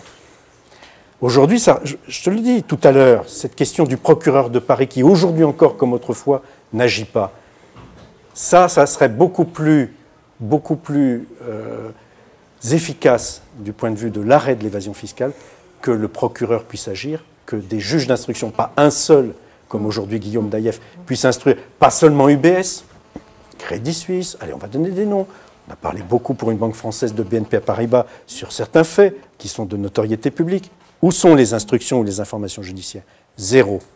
C'est plutôt ça qui, qui pose problème dans le fait d'empêcher le phénomène. Et dans le même temps, on- les banques augmentent leur présence et leurs filiales dans les paradis fiscaux. Donc Absolument. on voit bien que ça n'est Parce pas. que, parce que ça, ça, ça, c'est aussi quelque chose qu'on a vu. C'est-à-dire que toutes les banques, non, il n'y en a aucune qui a, fait- qui a fermé. Euh, Xavier, Dans les par- dans dans paradis paradis fiscaux, fiscaux, ils ont fait- elles ont fermé aucune de leurs filiales. Et quand on, À part BNP, Ah, on soi-disant, a fermé six- au une Panama, filiale quoi. au Panama, voilà. C'est ça, oui. Mais par contre, à, à deux immeubles à la- Jersey, ils en ont à deux, française. deux immeubles à Jersey pour faire du trust euh, à longueur de journée. Donc il y a le secret bancaire, mais il y a aussi euh, le Mais trust, qui est une autre façon de fabriquer de l'opacité. Dans cette euh, lutte contre l'évasion fiscale qui est très médiatique sur certains cas emblématiques, qui certainement sont pertinents aussi, mais le gouvernement français passe à côté d'occasions majeures. Hein, et et- et c'est ça qu'on peut lui reprocher. C'est-à-dire qu'aujourd'hui, on a parlé de la loi FATCA tout à l'heure, la loi FATCA des États-Unis. Les, les États-Unis se sont, eux, engagés sérieusement sur, sur la voie de la lutte contre l'évasion fiscale. Ils ont exigé, euh, par cette loi FATCA, que toutes les banques, euh, tous les intermédiaires financiers qui voulaient travailler sur le territoire américain devaient rentrer dans un système d'échange d'informations automatique avec les États-Unis sur les comptes Sur de les tous les Ah, administrés américains, de tous les, les contribuables américains. Mais pourquoi est-ce qu'on n'essaye pas de pousser la même législation au niveau européen? La France pourrait tout à fait s'emparer de cela, euh, être le leader et proposer euh, une FATCA européenne. Oui, mais c'est ce que Elle veut dire fait pas, donc on- on met- on tape à côté de la cible, à quand même. 27, Ah non, on n'est pas obligé, les Américains avancent tout seuls avec leur FATCA. On peut avoir notre- on peut, on peut tout à fait propre la, la mettre en avant. Là, y a pas c'est très amusant. Bah, très amusant. Ce gouvernement, euh, enfin, euh, quand il était dans l'opposition, a passé son temps à taper sur Sarkozy en disant qu'il ne faisait que des moulinets, etc. Où est ce gouvernement Où est, où est l'Élysée sur les questions d'évasion fiscale et de lutte contre les paradis fiscaux? Ils sont totalement absents. Ça fait pas partie de leurs priorités. Ils ne quand on lit dans pas. certains journaux d'hier que l'Europe est en train de récupérer du pouvoir sur ses banques après le, après le, dernier, le dernier Conseil européen, euh, je pose la question. Alors, réponse, est-ce qu'il s'agit de poudre aux yeux? Ouais, il s'agit simplement de centraliser euh, le- la surveillance bancaire euh, au niveau de la Banque Centrale Européenne, ce qui en soi n'est d'ailleurs n'est pas, pas absurde, hein, mais euh, ça ne veut pas du tout dire que la volonté politique de, euh, normaliser les opérations euh, des banques dans les paradis fiscaux va, grandir pour autant. Euh, euh, Il y, a- un chiffre qui, moi, qui m'a frappé, euh, euh, qu'avancent euh, nos amis du, syndicat national unifié des impôts, c'est la rentabilité euh, du, fonctionnaire euh, du contrôle fiscal. Un, fonctionnaire du contrôle fiscal rapporte deux- 2,3 millions par an euh, à son administration, Euh, c'est-à-dire euh, évidemment euh, plus que tout son salaire euh, euh, au cours de et toutes ses retraites, euh, même s'il vit euh, 150 ans. Euh, et donc, du point de vue 2,3 millions par an. 2,3 millions par an, le, contrôle, le, le- le produit d'un seul contrôleur euh, du fisc. Euh, donc pourquoi est-ce qu'on est obstinément euh, toujours au, même nombre de, de contrôleurs et d'inspecteurs euh, euh, des impôts depuis 20 ans? Il y a toujours 500, euh, pardon, 5000 inspecteurs et contrôleurs des impôts. Ça n'a pas augmenté. Alors que la rentabilité de ce- ce- ce- cet investissement pour pour euh, pour l'administration est considérable. Logiquement, si l'administration était rationnelle sur un plan économique, Elle devrait recruter des fonctionnaires euh, du contrôle fiscal jusqu'au moment où le salaire du, du- du- du dernier embauché éga- égalerait le, le rapport, euh, les rentrées fiscales qui permettraient de... Ça, c'est la rationalité économique. C'est ce qu'on nous explique dans les manuels de microéconomie. Or, on en est très très loin. Donc, il y a encore de la marge pour embaucher quelques milliers de fonctionnaires au contrôle fiscal pour faire... Mais ça, mais ça rapporte, le, le contrôle fiscal rapporte plus de 15 milliards par an en redressement, en redressement fiscaux. au C'est loin. C'est loin d'être négligeable. hein. Ce sont des sommes considérables qu'on pourrait augmenter C'est très même, facilement. c'est même un des services qui a été largement touché par la RGVP et justement Mmh. par les suppressions d'emplois.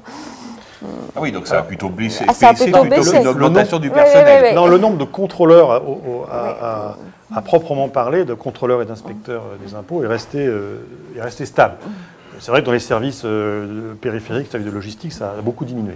Donc, Alors, Encore un la, mot. question du, oui, la question du contrôle prudentiel, hein, qui maintenant va passer à l'échelon européen, c'est tout simplement une dilution de quelque chose qui ne fonctionnait déjà pas. Le contrôle prudentiel en France, ça s'appelle l'autorité de contrôle prudentiel, c'est la Banque de France, c'est un organe de la Banque de France. Cet organe-là est un étouffoir de tout ce qui peut être signalé par des gens qui constatent au sein des banques des malversations. Ça été exactement le cas chez UBS. Il a fallu qu'en 2010, 2010, un collectif de cadres supérieurs fasse une note de 10 pages adressée à la chef de l'inspectrice de la CP pour qu'elle commence à s'émouvoir parce que ça fuitait dans la presse. Les signalements des faits étaient déjà faits depuis plus de deux ans. Et il a fallu que ça arrive au parquet pour qu'on fasse une enquête préliminaire qui est encore un autre étouffoir, et finalement seulement un juge d'instruction en avril 2012. Donc ces contrôles prudentiels qui sont au sein des banques, Banque de France, Banque nationale et peut-être maintenant une banque européenne, ça ne va être que le même système de gens qui se contrôlent eux-mêmes. On s'achemine vers la conclusion. Martine, tu voulais parler des dernières recommandations du FMI Euh, oui, qui, euh, oh, le FMI, on connaît, c'est quand même euh, une institution qui, qui a prôné quand même une grande libération de tout depuis, depuis, depuis euh, plus de 30 ans. Et là, elle a fait brusquement une volte-face euh, la semaine dernière, dont on a beaucoup parlé, c'est que elle, euh, le FMI préconisait que oui, en cas de grandes difficultés, d'instabilité financière, de- de- il était de bon ton de, et d'évasion, de toutes sortes de capitaux, il était bon ton finalement de pouvoir reconsidérer, de remettre un contrôle des capitaux quand même sur les pays, parce que tout part de là quand même, tout part de là, c'est-à-dire qu'il n'y a plus, il n'y a plus de contrôle de capi- de- de- de- des capitaux qui euh, est organisé. Alors, c'est quoi? C'est un moment de panique? C'est c'est un vrai- c'est une vraie remise en cause? C'est Thomas Coutreau. Le FMI a un peu assoupli sa doctrine sur euh, euh, le fait que la libéralisation des mouvements de capitaux est toujours et partout euh, l'optimum, euh, le paradis sur Terre, etc. Donc ils ont admis que certains pays, comme l'avait fait la Thaïlande à un moment, comme l'a fait le Brésil ou le Chili euh, plus récemment, ont, ont raison de, des fois de mettre des taxes, de mettre des contrôles, surtout des taxes, pour limiter les mouvements spéculatifs qui déstabilisent les monnaies. Donc là-dessus, ils ont euh, effectivement un peu, euh, hein. un peu, un peu assoupli leur, euh, leur doctrine. Bon, de là à dire qu'ils vont euh, revenir sur, euh, le, sur le dogme de la libre circulation euh, des capitaux, certainement pas, parce que là, c'est vraiment là qu'est le, la clé de voûte hein, du pouvoir des marchés financiers au niveau international et de tout ce système hein, de recyclage, de, localisation de l'argent dans les paradis fiscaux, ça repose, la clé de voûte, c'est la liberté de circulation Oui, des oui. capitaux. Donc évidemment, tant qu'on ne reviendra pas sur ce, ce dogme, nous n'arriverons pas à sortir de la situation dans laquelle nous sommes aujourd'hui. Mais en même temps, c'est ce dogme, c'est cette règle qui donne tout son pouvoir social euh, à l'industrie financière, euh, Mmh. aux banques, euh, aux, aux- aux fonds, aux fonds d'investissement, aux fonds spéculatifs. C'est ça qui, qui leur permet de tenir les États euh, euh, sous leur coupe, hein, d'une certaine façon, comme on le voit aujourd'hui dans, dans la crise européenne. Et donc, euh, avec l'assentiment euh, des, des élites politiques, comme, euh, comme je le disais tout à l'heure. Donc, effectivement, là, c'est vraiment uniquement euh, euh, une insurrection citoyenne, c'est-à-dire un, grand ras-le-bol euh, des électeurs, des citoyens, des mouvements sociaux qui, peut mettre un terme à cette situation. C'est pas, on va pas faire confiance au stade actuel, aux élites politiques pour réformer d'elles-mêmes ce, ce, cet état- cet Ce dogme ne changera pas tout seul, ces recommandations du FMI ou pas. Merci infiniment à tous les quatre. Merci, euh, merci à Martine Orange d'avoir animé ce, ce second plateau de ce grand direct euh, avec moi. On se retrouvera euh, en janvier. J'ai pas encore la date, à moins que Edoui me la hurle. Il est en train de regarder sur un agenda papier, je le dénonce. Euh, voilà, pour savoir. Alors voilà, le prochain rendez-vous dans cette rédaction, donc la grande soirée Mediapart, le prochain live, ça aura lieu le 25 janvier. Je vous rappelle que tous les contenus euh, du journal sont gratuits jusqu'à minuit et que pour trois mois d'abonnement jusqu'à minuit, c'est 9 euros et c'est vraiment pas cher. Merci infiniment à tous. On se voit au mois de janvier. Au revoir.